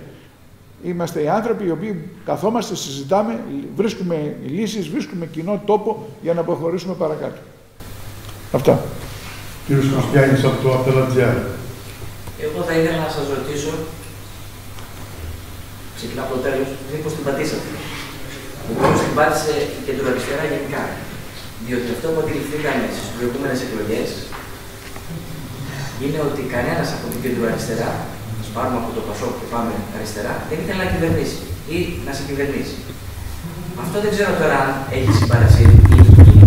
Και με πολλά κέντρο, στελέχη της κεντροαριστεράς που μιλούσαμε off the record, μας είπαν ότι λυπούμαστε το Μητσοτάκη, ο οποίος άλλος είναι πρωθυπουργό το 24-25. Λόγω προφανώς αυτά που είπατε που θα ακολουθήσουν, αν ακολουθήσουν αυτά. Μήπως εκεί το πήρατε πολύ αριστερά το και το χάσαμε λίγο; Όλοι, γιατί και αυτός ήρθε, έφτασε στο 20%. Ωραία. Να επιχειρήσω να δώσω μια απάντηση σε αυτό. Ε, πρώτον για μας, ε, το να έχεις μια ε, κουλτούρα συνεργασίας δεν είναι από μόνο του η πανάκια. Δηλαδή, το, το αν θέλει κανείς να κυβερνήσει, μάλλον, δεν είναι αυτός ο σκοπός. Διότι αν θέλεις να κυβερνήσεις μια χώρα, υπάρχει ένας αρκετά εύκολος δρόμος, ή μάλλον είναι γνωστός ο δρόμος, ο δρόμος του να πας στα μεγάλα συμφέροντα της χώρας, στις μεγάλες οικογένειες, στις μεγάλες πολυεθνικές κτλ. Και, και να τους πεις, κοίταξε να δεις, εγώ είμαι ένας άνθρωπος ή ένα, μια συλλογικότητα η οποία είμαι διατεθειμένη να εφαρμόσω την πολιτική σου. Βόηθαμε κι εσύ με τα μέσα ενημέρωσής σου, με τη στήριξη, με τη χρηματοδότηση και θα πάω να κυβερνήσω. Αυτός είναι ένας εύκολος δρόμος.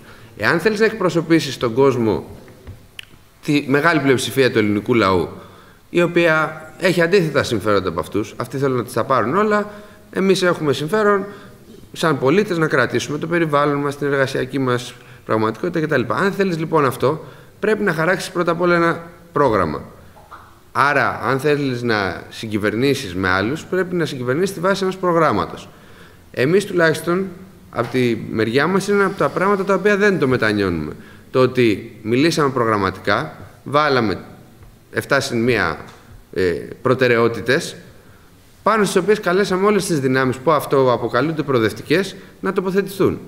Δεν τοποθετήθηκαν επί αυτών καθόλου. Είχαμε μιλήσει για συγκεκριμένα πράγματα που έχουν ε, να κάνουν με την ενέργεια, με την πρωτογενή παραγωγή, με την ε, διαχείριση του ιδιωτικού και δημόσιου χρέους, με τα κόκκινα δάνεια. Για όλα αυτά είχαμε συγκεκριμένες προτάσεις, κατατεθειμένες στο δημόσιο διάλογο. Όταν θέλεις να απευθυνθείς αυτό που λέτε στην κέντρο αριστερά, να το πούμε έτσι, σε όποιον αυτό αποκαλείται προοδευτικός, δεν υπάρχει άλλος δρόμος, κατά τη γνώμη μας, παρά ο προγραμματικός. Να του πεις, έλα εδώ, εμείς λέμε 1, 2, 3, 4, 5. Τι έχεις να πεις πάνω σε αυτά, τι αντιπροτείνει πάνω σε αυτά. Μέχρι, για 1,5 χρόνο υπήρχε εισηγή νεκροταφείου απέναντι σε αυτό. Επειδή ακριβώς δεν είχαμε κι εμείς τη μεγάλη απεύθυνση ε, όσον αφορά τα μέσα ενημέρωσης, απο, αποκρύψανε αρκετά αυτή την πρόταση.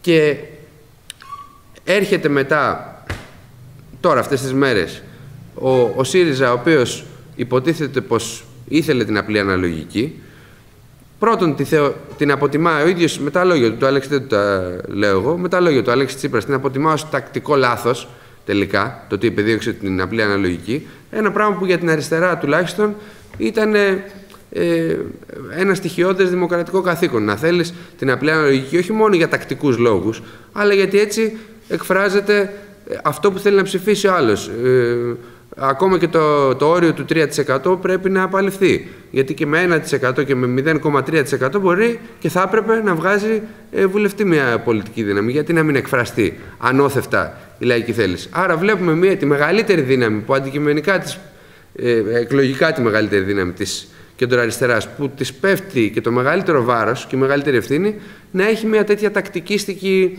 ε, να κάνει κολοτούμπα μέχρι και εκεί. Μέχρι και σε αυτά τα βασικά. Δεύτερον, να μην μιλάει καθόλου προγραμματικά. Και τρίτον, να έρχεται τώρα και να διαστρεβλώνει μέχρι και τα μαθηματικά. Έτσι, πρόσφατα ο, ο Αλέξης Τσίπρας να διαστρεβλώνει μέχρι και τα μαθηματικά και να λέει ότι ενισχύεται με πολιτικοματική κυβέρνηση, το είναι κάτι που θέλει η Νέα Δημοκρατία.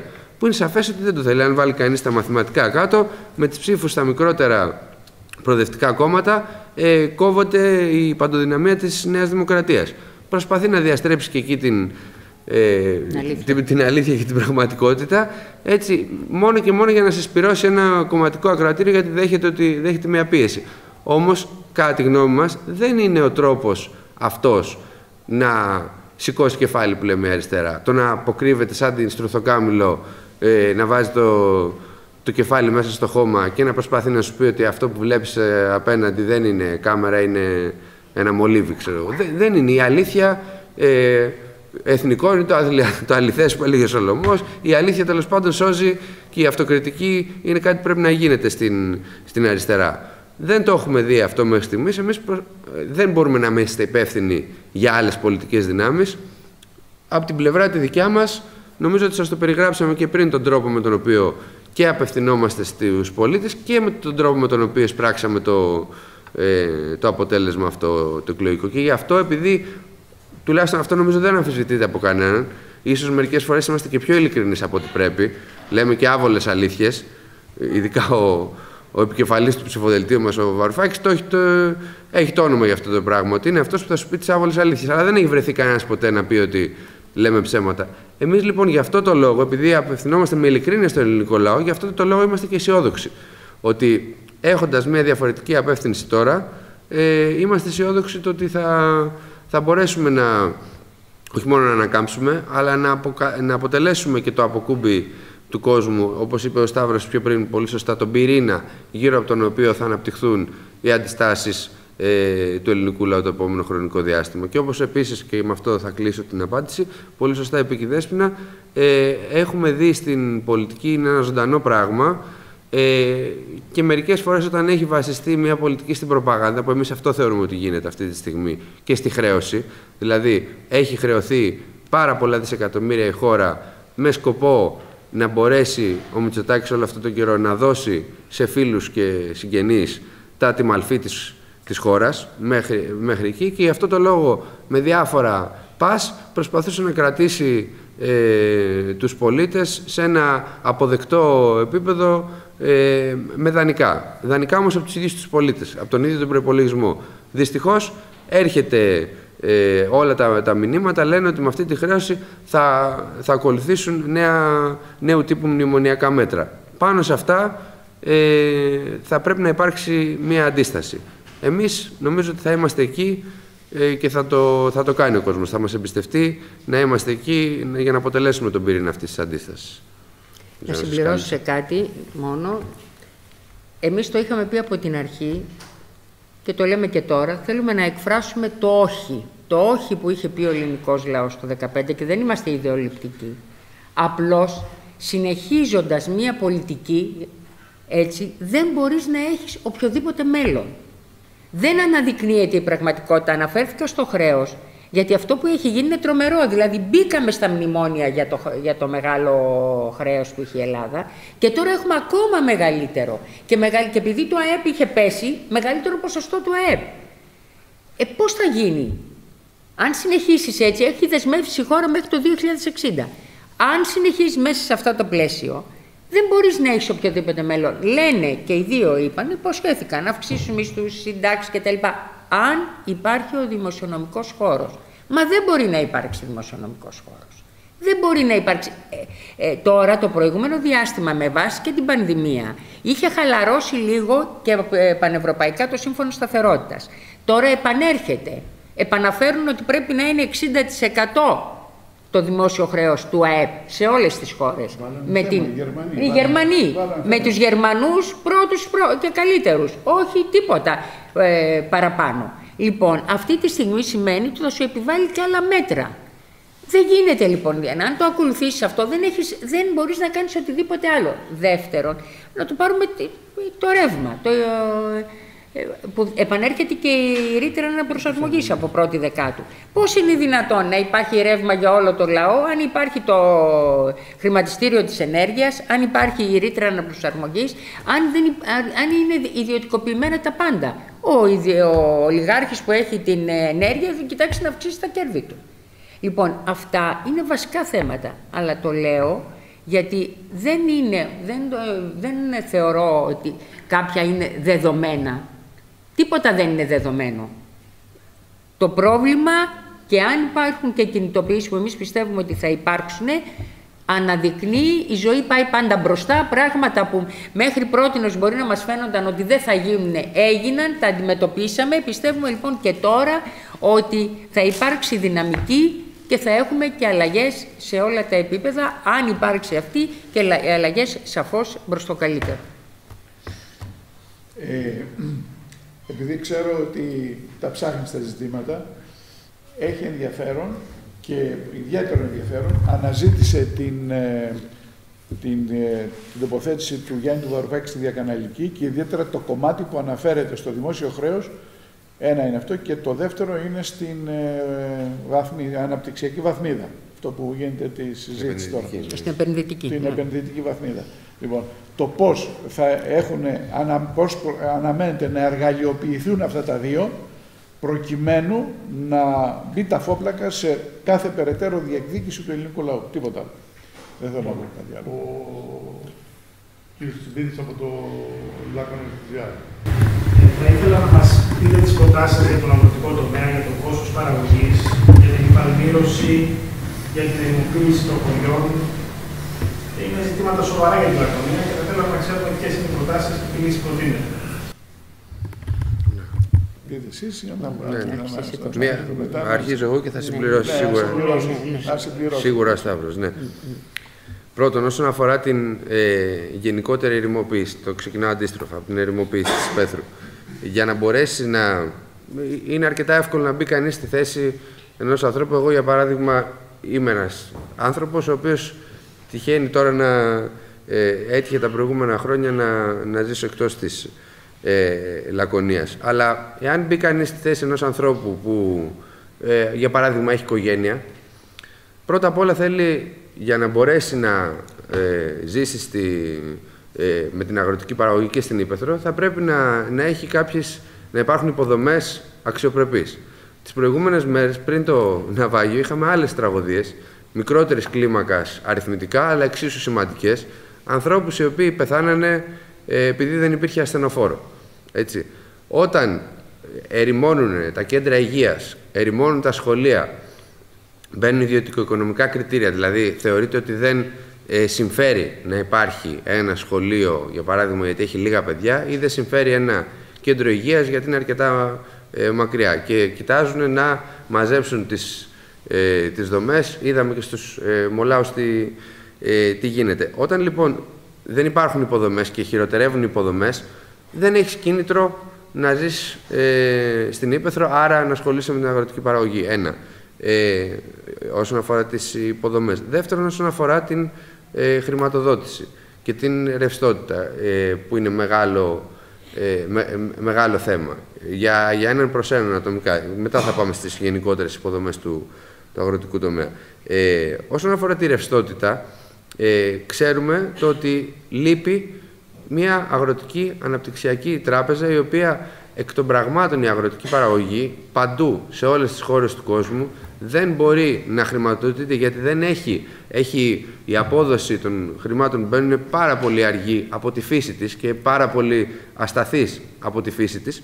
Άρα για ένα κράτος πρέπει να επενδύσει και να είναι διατεθειμένο να χρηματοδοτήσει μακροχρόνια ε, και με σοβαρούς όρους τους ανθρώπους οι οποίοι θα, θα μπουν στην παραγωγή. Ενώ αυτή τη στιγμή βλέπουμε το ότι ο μόνος τρόπος να χρηματοδοτηθούν οι νέοι αγρότες είναι να περιμένουμε το ντουφέκι συγκεκριμένες ε, ε, προκηρύξεις για προγράμματα νέων αγροτών ε, οι οποίες παρουσιάζονται ως κάτι ε, ε, ενώ ουσιαστικά είναι ενίδη λοταρίας βρίσκονται σε μεγάλη σπανιότητα σε σχέση με το τι θα έπρεπε και σε σχέση με το τι, τι δίνουν πραγματικά σαν εφόδια στους, στους νέους αγρότες ε, ενώ θα έπρεπε ε, να είναι πολύ ευρύτερα και με πολύ ε, ευνοϊκότερους όρους ε, αυτά τα, τα προγράμματα.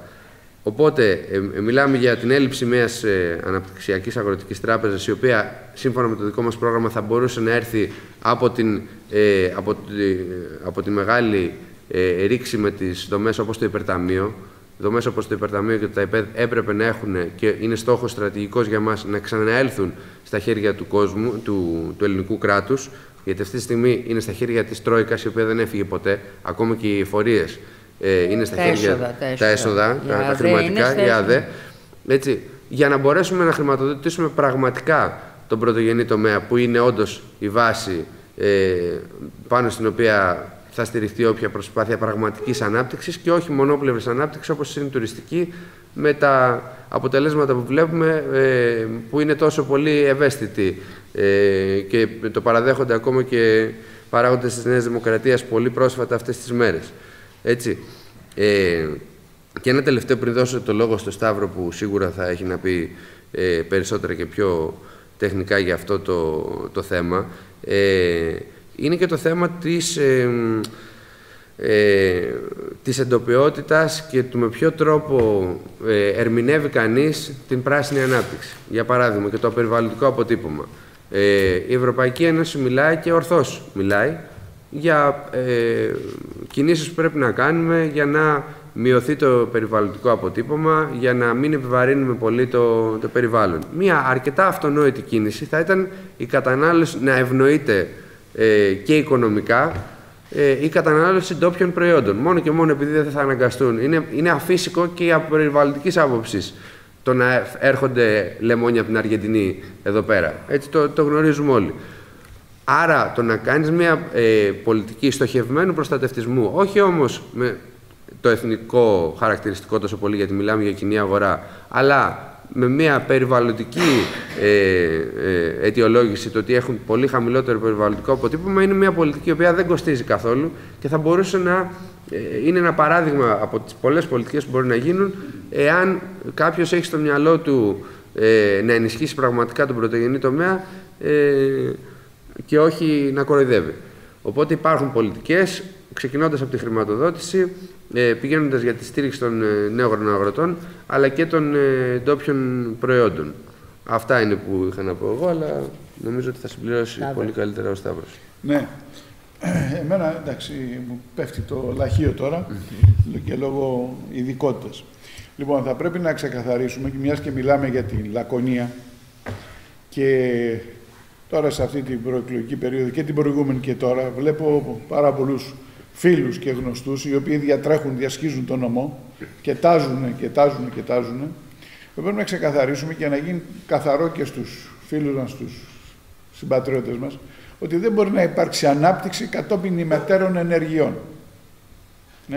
Η ανάπτυξη του τόπου δεν είναι ένα ρουσφέτη ε, που κάνει ο βουλευτής και μετακίνησε ένα φαντάρο ή δεν ξέρω τι άλλο. Η, η ανάπτυξη του νομού είναι μια σύνθετη διαδικασία, πολύπλοκη και δεν μπορεί να είναι ξεκομμένη από την υπόλοιπη χώρα. Δεν μπορεί δηλαδή να έχεις ανάπτυξη στη Λακωνία και όταν η υπόλοιπη χώρα δυστυχεί ή ακολουθεί ρυθμούς υποανάπτυξης. Εντάξει. Αυτό λοιπόν θα πρέπει να είναι ένα ζήτημα το οποίο πρέπει να ξεκαθαρίσουμε. Γιατί ακούγεται πολλές φορές ε, τι θα κάνετε, τι θα κάνεις για τη Λακωνία, τι, ποια είναι τα μεγάλα έργα που θα υποστηρίξεις. Δεν είναι ζήτημα το τι θα υποστηρίξει ο βουλευτής ατομικά. Είναι θέμα ποια είναι η πολιτική ε, που έχει ο χώρος στον οποίο ανήκει ο συγκεκριμένος βουλευτής συνολικά για τον αγροτικό τομέα στην Ελλάδα και μετά εξειδικεύεις στο επίπεδο ε, νομού. Αυτό είναι το ένα. Το δεύτερο, θα θα πρέπει για να κάνουμε συζήτηση για τα αγροτικά, θα πρέπει εντάχει να σας δώσω πέντε στοιχεία, την ταυτότητα του αγροτικού ζητήματος στην Ελλάδα για να μπορούμε να συζητάμε το μετά.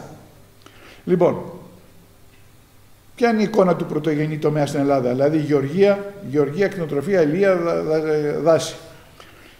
Συγκροτείται από περίπου 700.000 αγροτικά νοικοκυριά. Από αυτά, τα 450.000 ανήκουν σε επαγγελματίες αγρότες. Τα υπόλοιπα είναι ετεροεπαγγελματίες που ασκούν και η γεωργία. Είναι σημαντικό αυτό να το καλάβουμε υπόψη μας. Άρα λοιπόν εγώ θα έλεγα ότι ο πρωτογενής τομέας στην Ελλάδα ε, είναι ένας κοιμόμενος γίγαντας που κάποιοι θέλουν και το κρατάνε εν υπνώση. Ένας γίγαντας που αν τον ξυπνήσουμε και πατήσει τα πόδια του μπορεί να φέρει τα πάνω κάτω. Το αγροτικό ή εμπορικό ισοζύγιο αυτή τη στιγμή θα πρέπει να ξέρετε είναι αρνητικό. Δηλαδή τα, τα αγροτικά προϊόντα τα οποία εισάγουμε είναι περισσότερα σε αξία από αυτά τα οποία εξάγουμε. Εντάξει. Λοιπόν, τώρα μην πω σε λεπτομέρειες. Εμείς κατά κύριο λόγο στηριζόμαστε σε φρούτα, λαχανικά, λάδια κτλ. Και, και αυτά που μπαίνουν είναι κατά κύριο λόγο κρέας, γάλατα και τυροκομικά τέτοια προϊόντα. Ε, αυτός λοιπόν ο τομέας, αυτός ο γίγαντας έχει πολύ ψηλά κοστολόγια, έχει δυσλειτουργίες και έχει και σοβαρές ε, ε, καθυστερήσεις. Τώρα, τι λέμε εμείς; Δεν φτάνει μόνο να κάνεις την αποτύπωση. Εμείς λέμε ότι μπορεί και πρέπει να ακολουθηθεί μια άλλη πορεία. Υπάρχουν οι δυνατότητες. Αλλά, όπως μας μαθαίνουν στο Πανεπιστήμιο, για να πας κάπου θα πρέπει να σχεδιάσεις την πολιτική σου. Και αφού σχεδιάσεις την πολιτική σου, μετά να την εξειδικεύσεις. Εμείς δυστυχώς όλα αυτά τα χρόνια σαν χώρα δεν, υπήρξε, δεν είχαμε ποτέ εθνική πολιτική, εθνική στρατηγική στον πρωτογενή τομέα. Η χώρα πάντα πορευόταν με οδηγό τις διρεκτίβες από τις Βρυξέλλες και ό,τι έβγαζε, ό,τι βγάζαν οι, οι Βρυξέλλες για τις, ε, τις λεγόμενες προγραμματικές περιόδους που έχουν 7 ετή διάρκεια. Ό,τι έβγάζαν οι Βρυξέλλες, αυτό το παίρναμε, το υιοθετούσαμε και λέγαμε «Α, ξέρετε, αυτό είναι η στρατηγική μας επιλογή για τα επόμενα 7, 7 χρόνια». Όμως αυτή η στρατηγική που εκπορευόταν από τις Βρυξέλλες εξυπηρετούσε τα συμφέροντα των χωρών εκείνων που είχαν, είχαν το, το αναποφασιστικό ρόλο στη διαμόρφωση αυτών των πολιτικών. Και όχι βέβαια τα συμφέροντα ε, χωρών όπως είναι η Ελλάδα. Ε, άρα λοιπόν δεν υπήρχε εθνική στρατηγική. Αυτό λοιπόν μπορεί να ανατραπεί και ε, πρέπει να ανατραπεί. Θα πρέπει να χαραχτεί λοιπόν μια εθνική στρατηγική όπου θα καθορίσουμε τι θέλουμε, πού θέλουμε να πάει η Ελλάδα. Στον πρωτογενή τομέα. Πρέπει να σας πω ότι μετά από αυτό το επόμενο βήμα είναι να, κάνεις, να χαράξεις τις κλαδικές πολιτικές. Τι θες, παιδί μου, να προχωρήσεις; Θες να προχωρήσεις τα μπαμπάκια; Θες να προχωρήσεις τη σταφίδα, την οποία τη θάψανε. Τι θες, τα καπνά, τα οποία τα θάψανε. Τη ζάχαρη που τη θάψανε και πουληθήκαν και τα εργοστάσια ζάχαρης και αυτή τη στιγμή κάνουν εισαγωγή ζάχαρης από τη Γερμανία; Δηλαδή, ποιες είναι οι κλαδικές σου πολιτικές Πού θες να πας στη χώρα; Λοιπόν, αυτή τη στιγμή δεν υπάρχει κάτι τέτοιο. Ή μάλλον υπάρχει μια, αν θέλετε, ένας αχταρμάς που, έχει να κάνει με τα συμφέροντα ουσιαστικά ξένων χωρών. Του ευρωπαϊκού ουσιαστικά κεφαλαίου. Άρα λοιπόν το πρώτο που θα χρειαζόμαστε είναι εθνική στρατηγική και κλαδικές πολιτικές. Ένα. Μετά, για να πας πιο κάτω θέλεις ανθρώπους. Θέλεις νέους ανθρώπους να μπουν στο χώρο της γεωργίας. Λοιπόν, υπάρχει μια διάθεση και υπάρχει μια στροφή αρκετών νέων ανθρώπων στον χώρο της γεωργίας, όμως υπάρχει ένα όμως. Η κυβέρνηση που ήταν, διαχειριζόταν, η Νέα Δημοκρατία που διαχειριζόταν τις τύχες μας μέχρι προχθές, ακούστε, αν είναι δυνατόν, υπήρξαν αιτήματα, χιλιάδες αιτήματα από νέα παιδιά να μπουν στον χώρο της γεωργίας και να εκμεταλλευτούν και τα κίνητρα που δίνει η Ευρωπαϊκή Ένωση και για πρώτη φορά στην ιστορία για πρώτη φορά στην ιστορία και τη δική μας και την ευρωπαϊκή είναι η μοναδική κυβέρνηση που άφησε έξω από τα προγράμματα νέα παιδιά. Άφησε 3.500 άτομα έξω από τα προγράμματα. Δεν έχει ξανασυμβεί. Που θα μπορούσε κάλλιστα να διαφοροποιήσει τα ποσά, να βρει από άλλα προγράμματα. Ξέρετε πώς γίνεται, μεταφέρουν ποσά κτλ. Όμως είχε μια συγκεκριμένη αντίληψη. Ήθελε συγκεκριμένους νέους γεωργούς με συγκεκριμένο μέγεθος εκμετάλλευσης. Όμως αυτοί τους ανθρώπους που θέλουμε για να μπορέσουν να μείνουν στη Γεωργία πρέπει να τους δώσουμε, να τους διασφαλίσουμε και τις ελάχιστες συνθήκες αν θέλετε κοινωνικής διαβίωσης. Δεν μπορεί δηλαδή να μείνουν στα χωριά μας τα παιδιά, νέα παιδιά και να δημιουργήσουν οικογένεια όταν δεν υπάρχει σχολείο ή όταν τα παιδιά τους θα πρέπει να μετακινηθούν με τα λεωφορεία μία και ώρα το πρωί και μία ώρα το απόγευμα από τα χαράματα για να πάνε στο σχολείο. Δεν είναι δυνατόν. Επίσης ήταν ολέθρια η, η επιλογή στη λογική των δημοσιονομικών εσόδων που καταργήθηκε, διαλύθηκε η δομή που υπήρχε με τους καποδιστριακούς δήμους. Ερημώσαν τα χωριά. Επίσης, δεν είναι δυνατόν να παραμείνουν νέοι άνθρωποι στη, στη Γεωργία όταν δεν έχουν την ασφάλεια, δεν νιώθουν ασφαλείς στα ζητήματα υγείας. Όταν τα κέντρα υγείας υπολειτουργούν, είναι υποστελεχωμένα, δεν υπάρχουν ε, νοσο, ε, πώς ήταν, ε, ΚΑΒ και τα είπαμε και προηγούμενα, είπε και ο, ο Κώστας, λοιπόν, η, η άλλη η έγκυος, λοιπόν, ήταν ετοιμόγενη και περίμενε ε, πέντε ώρες το, το ασθενοφόρο. Λοιπόν, αν δεν διασφαλίσουμε και τέτοιους όρους, δεν μπορούν να μείνουν νέα παιδιά. Εμείς λέμε ότι μπορούν, υπάρχουν τρόποι, υπάρχουν δυνατότητες. Λοιπόν, αλλά θέλουν μια άλλη πολιτική βούληση. Έτσι.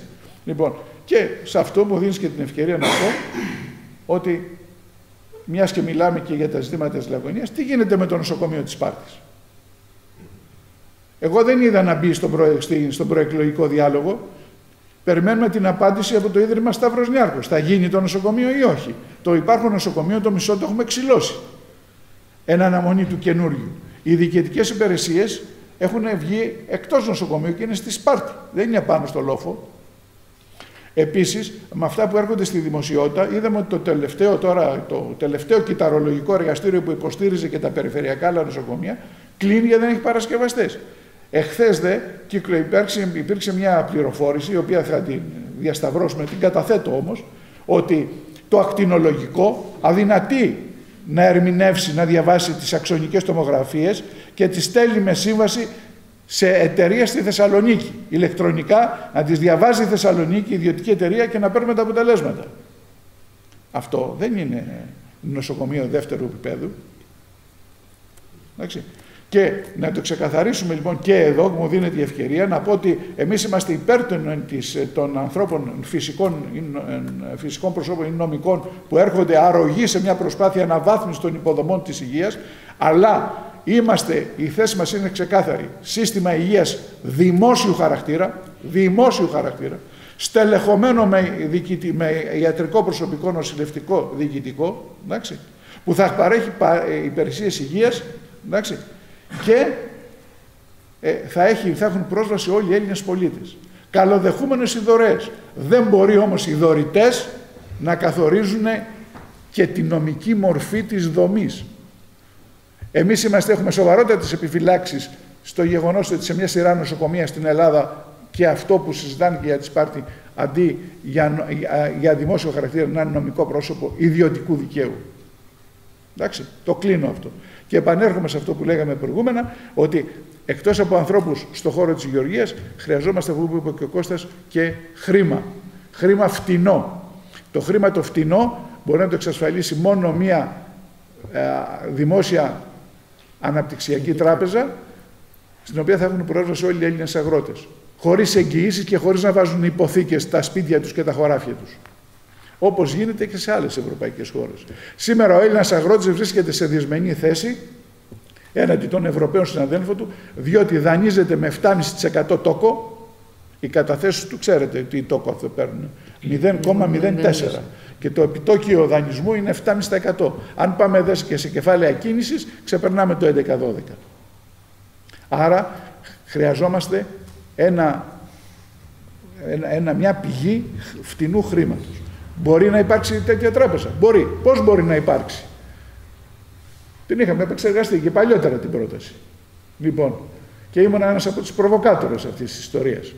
Μπορεί, αν το ελληνικό δημόσιο χορηγήσει λοιπόν σε αυτή την τράπεζα, της μεταβιβάσει ακίνητα του ελληνικού δημοσίου, τα οποία τα έχει πάρει το ΤΑΙΠΕΔ, και με βάση αυτά τα χρησιμοποιεί το Ίδρυμα ως ε, πώς το λέμε εκεί στο χρηματιστήριο, πώς τα λέτε, δεν τα ξέρω και πολύ καλά, ω αντίκρισμα και παίρνει δάνειο, παίρνει δάνεια από τις ξένες τράπεζες για να έχει ρευστότητα να, δι, να δανείζει στη συνέχεια τους Έλληνες αγρότες. Οι οποίοι σημειωτέων θα πρέπει να ξέρετε είναι από, τους, από τα κοινωνικά στρώματα που είναι από τους πλέον καλοπληρωτές και ιδιαίτερα οι λάκωνες. Εντάξει, επειδή ακριβώς έχει να κάνει με τη φυσιογνωμία του, ε, του κοινωνικού σώματος. Και όμως δεν φτάνει μόνο το χρήμα που σας είπα, χρειάζεται αυτό το ανθρώπινο δυναμικό να το εκπαιδεύεις συνεχώς και ταυτόχρονα να το υποστηρίζεις και με άλλες μεθόδους. Ποιες είναι οι άλλες μέθοδοι; Με την έρευνα, με εφαρμοσμένη έρευνα. Σας είπα και την προηγούμενη φορά, δεν ξέρω αν το είπα εδώ, πέντε Ινστιτούτα στον Περιφέρεια Πελοποννήσου, Ινστιτούτα ερεύνηση που λειτουργούν ή έχουν κλείσει. Δεν έχουν προσωπικό, δεν έχουν αντιδραστήρια, δεν μπορούν να υποστηρίξουν τον ενεργό Έλληνα αγρότη. Και ταυτόχρονα βέβαια θα πρέπει η πολιτεία να πάρει μέτρα ελέγχου για τα, κοστο, τα κόστη. Έτσι, στα φάρμακα, στα λοιπάσματα, στην ενέργεια. Δεν μπορεί δηλαδή ε, να, ο Μητυλινέος να έχει άλλη χρέωση στο, στο ρεύμα από τον αγρότη στο γεράκι ε, που, που, που, ποτίζει τις ελιές, ε, βάζει τη γεννήτρια από την ελιά καλαμών. Ναι, δεν μπορεί να είναι το ένα παιδί καλό και το άλλο να, πω, πω, πω, να μην πω τη λέξη τη μάνα του. Άρα λοιπόν χρειάζεται και ε, υπάρχει δυνατότητα, εμείς λέμε ότι γίνονται, υπάρχουν οι τρόποι, δεν είναι θεωρητικά αυτά που λέμε, απλά χρειάζεται βούληση, ε, να υπάρξει ένα συνολικό πρόγραμμα για την ε, αναδιοργάνωση της πρωτογενούς παραγωγής. Εντάξει. Και για τη Λακωνία ιδιαίτερα να πω το εξής, ότι ε, τα, τα, δύο, τα, τα δύο προϊόντα της Λακωνίας, το λάδι και η ελιά, το λάδι πάει καλά γιατί έχει, πέρασε στα 6 ευρώ, έτσι, γιατί η Ισπανία έχει πολύ μεγάλη ζημιά και θα έχει και του χρόνου ζημιά μεγάλη, αλλά δεν μπορεί να στηρίζεσαι στην καταστροφή του ανταγωνιστή σου. Αυτό θα συμβεί μία, ξέρω, δύο φορές. Πώς θα συμβεί. Δεν μπορεί να στηρίζεσαι στην καταστροφή για να λες ότι θα μπορέσεις να επιβιώσεις. Όσα αφορά δε την ελιά καλαμών, εντάξει, που είναι, είναι απούλητη, ένα προϊόν το οποίο το χρεώνουν οι παραγωγοί, έχουν κόστος παραγωγής, ο, ο κύριος Κωστιάνης είναι και παραγωγός και ξέρει, έχει φτάσει το 1 ευρώ και ξεπερνάει το 1 ευρώ και σήμερα έχει τιμή πώλησης 0,70. Κύριε Χρυσαδάκο, πάνω στο θέμα των χρηματοδοτικών εργαλείων στα αγροτικά για την αγροτική οικονομία μπορεί να παίξει ικανοποιητικό ρόλο ή κάποιο σημαντικό ρόλο το Ταμείο Ανακάμψη. Είναι καλή πάσα. Είναι πολύ καλή πάσα. Ευχαριστώ κύριε Λοιπόν, ε, δεν ξέρω αν θέλει να μιλήσει κάποιος από εσά. Γιατί αναφερόμαστε και σε συγκεκριμένα. Λοιπόν, Λοιπόν, το Ταμείο Ανάκαμψης και, στα, Ανάκαμψης και Σταθερότητας ξέρετε ότι έχει ένα εγγραμμένο κονδύλι 31,5 δις. Από αυτά τα, αν θυμάμαι καλά, τα 19-20 δις είναι επιδοτήσεις και τα υπόλοιπα είναι δάνεια με πολύ ευνοϊκού όρους.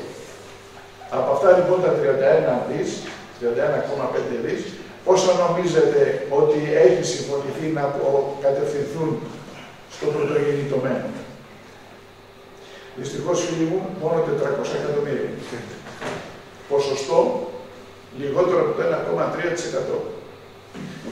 Αυτό τι εκφράζει; Δεν είναι ζήτημα μόνο υποχρηματοδότηση τομέα. Εκφράζει και τη λογική, την κυρίαρχη λογική αυτών οι οποίοι κάνανε, έχουν αναλάβει τη διαχείριση του Ταμείου Ανάκαμψης.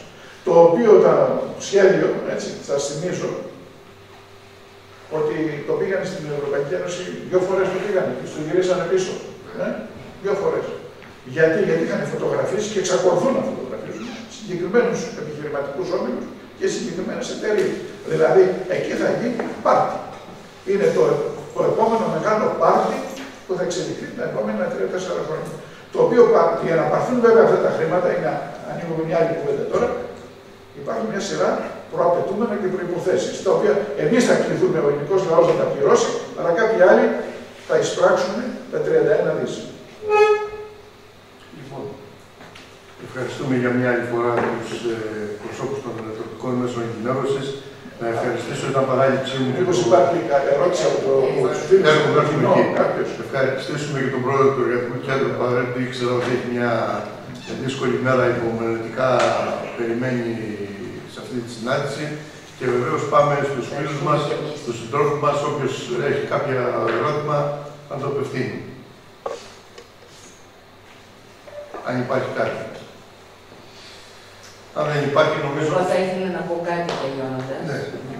Αν δεν υπάρχει κάτι, η Δέσποινα έχει τον λόγο. Απλώς, επειδή αναφέρθηκε, αλλά αναφέρθηκε ακροφυγώς το θέμα της υγείας σε σχέση με τα υπόλοιπα.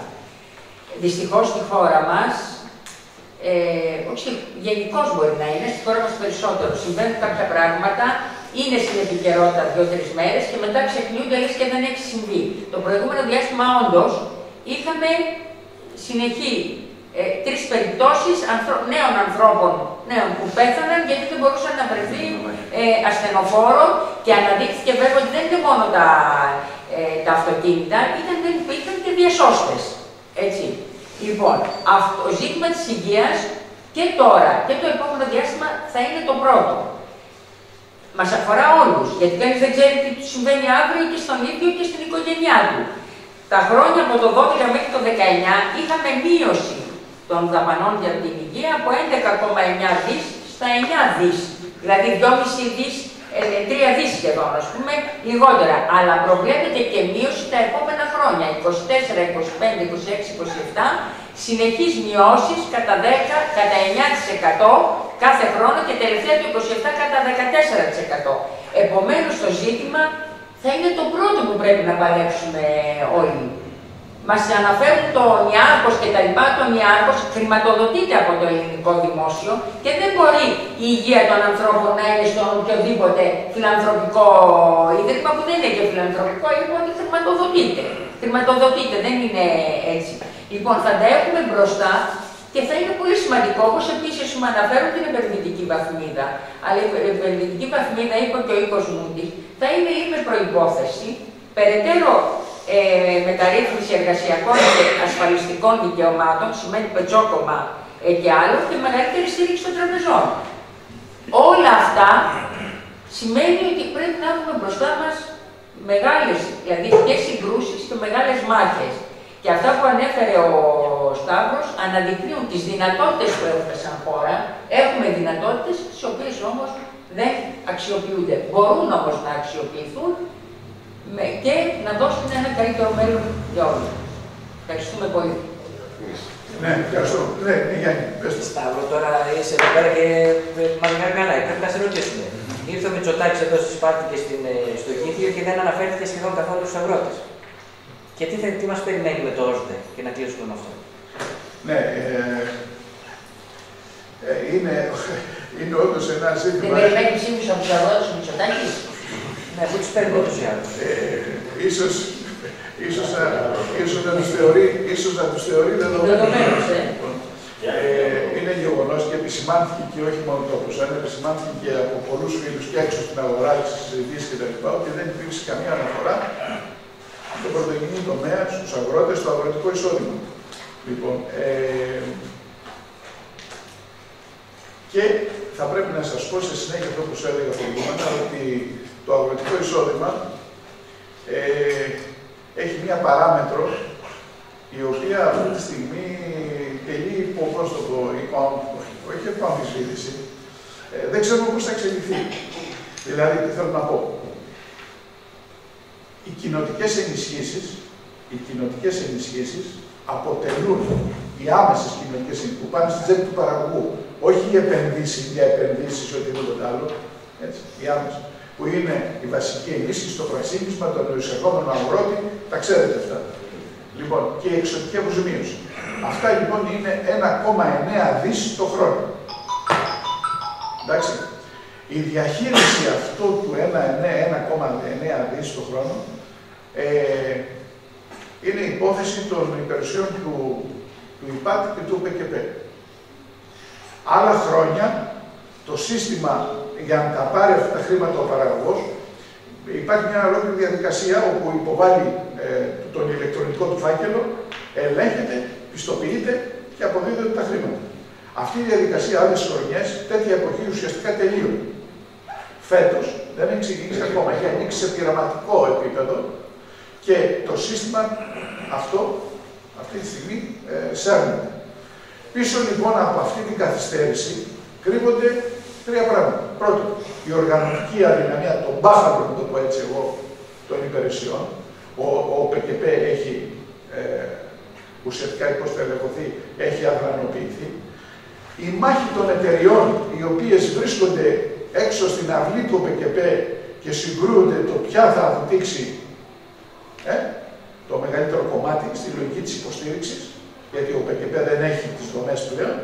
Και επίσης το τρίτο στοιχείο, υπάρχει και μία, αν θέλετε, κουτοπονηριά της Δημοκρατίας, να οδηγήσει τους αγρότες στην κάλπη χωρίς να ξέρουν το τι, το τι τους περιμένει. Διότι πρέπει να σας πω, το, βγάλαμε και σε ανακοίνωση και την οποία υπογράφαμε εγώ και ο φίλος και συναγωνιστής ο Πετράκος από την Μεσσηνία, ότι ε, οι μειώσεις οι οποίες θα υποστούν φέτος οι Έλληνες αγρότες είναι πάρα πολύ μεγάλες, φτάνουν το 30 και 40% σε σχέση με τα χρήματα που έπαιρναν τα προηγούμενα χρόνια. Και θέλουμε λοιπόν να αποκρύψουν αυτές τις μειώσεις.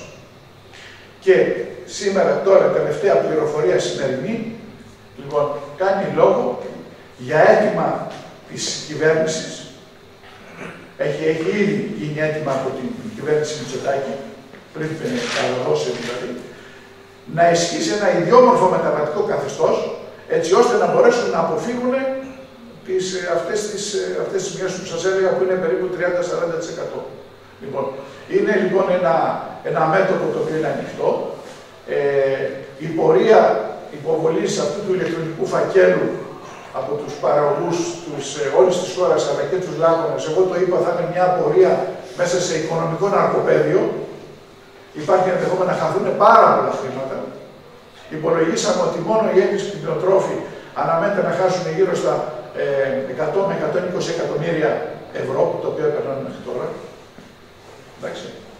Και όλα αυτά από την, ε, θέλετε, την ανικανότητα, την αδιαφορία, την αμέλεια ε, των υπηρεσιών και των ε, εκείνων που ήταν υπεύθυνοι να διαχειριστούν αυτά τα ζητήματα. Λοιπόν, ε, εμείς και θα καταλήξω με το να πω στους ε, ε, Έλληνες αγρότες και στους λάγους εδώ που μας, θα μας ακούσουν είναι να μην βιαστούν να πάνε να τρέξουν να υποβάλουν το φάκελό τους, να δούμε πώς θα εξελιχθεί η κατάσταση, γιατί είναι πάρα πολλά πράγματα ανοιχτά.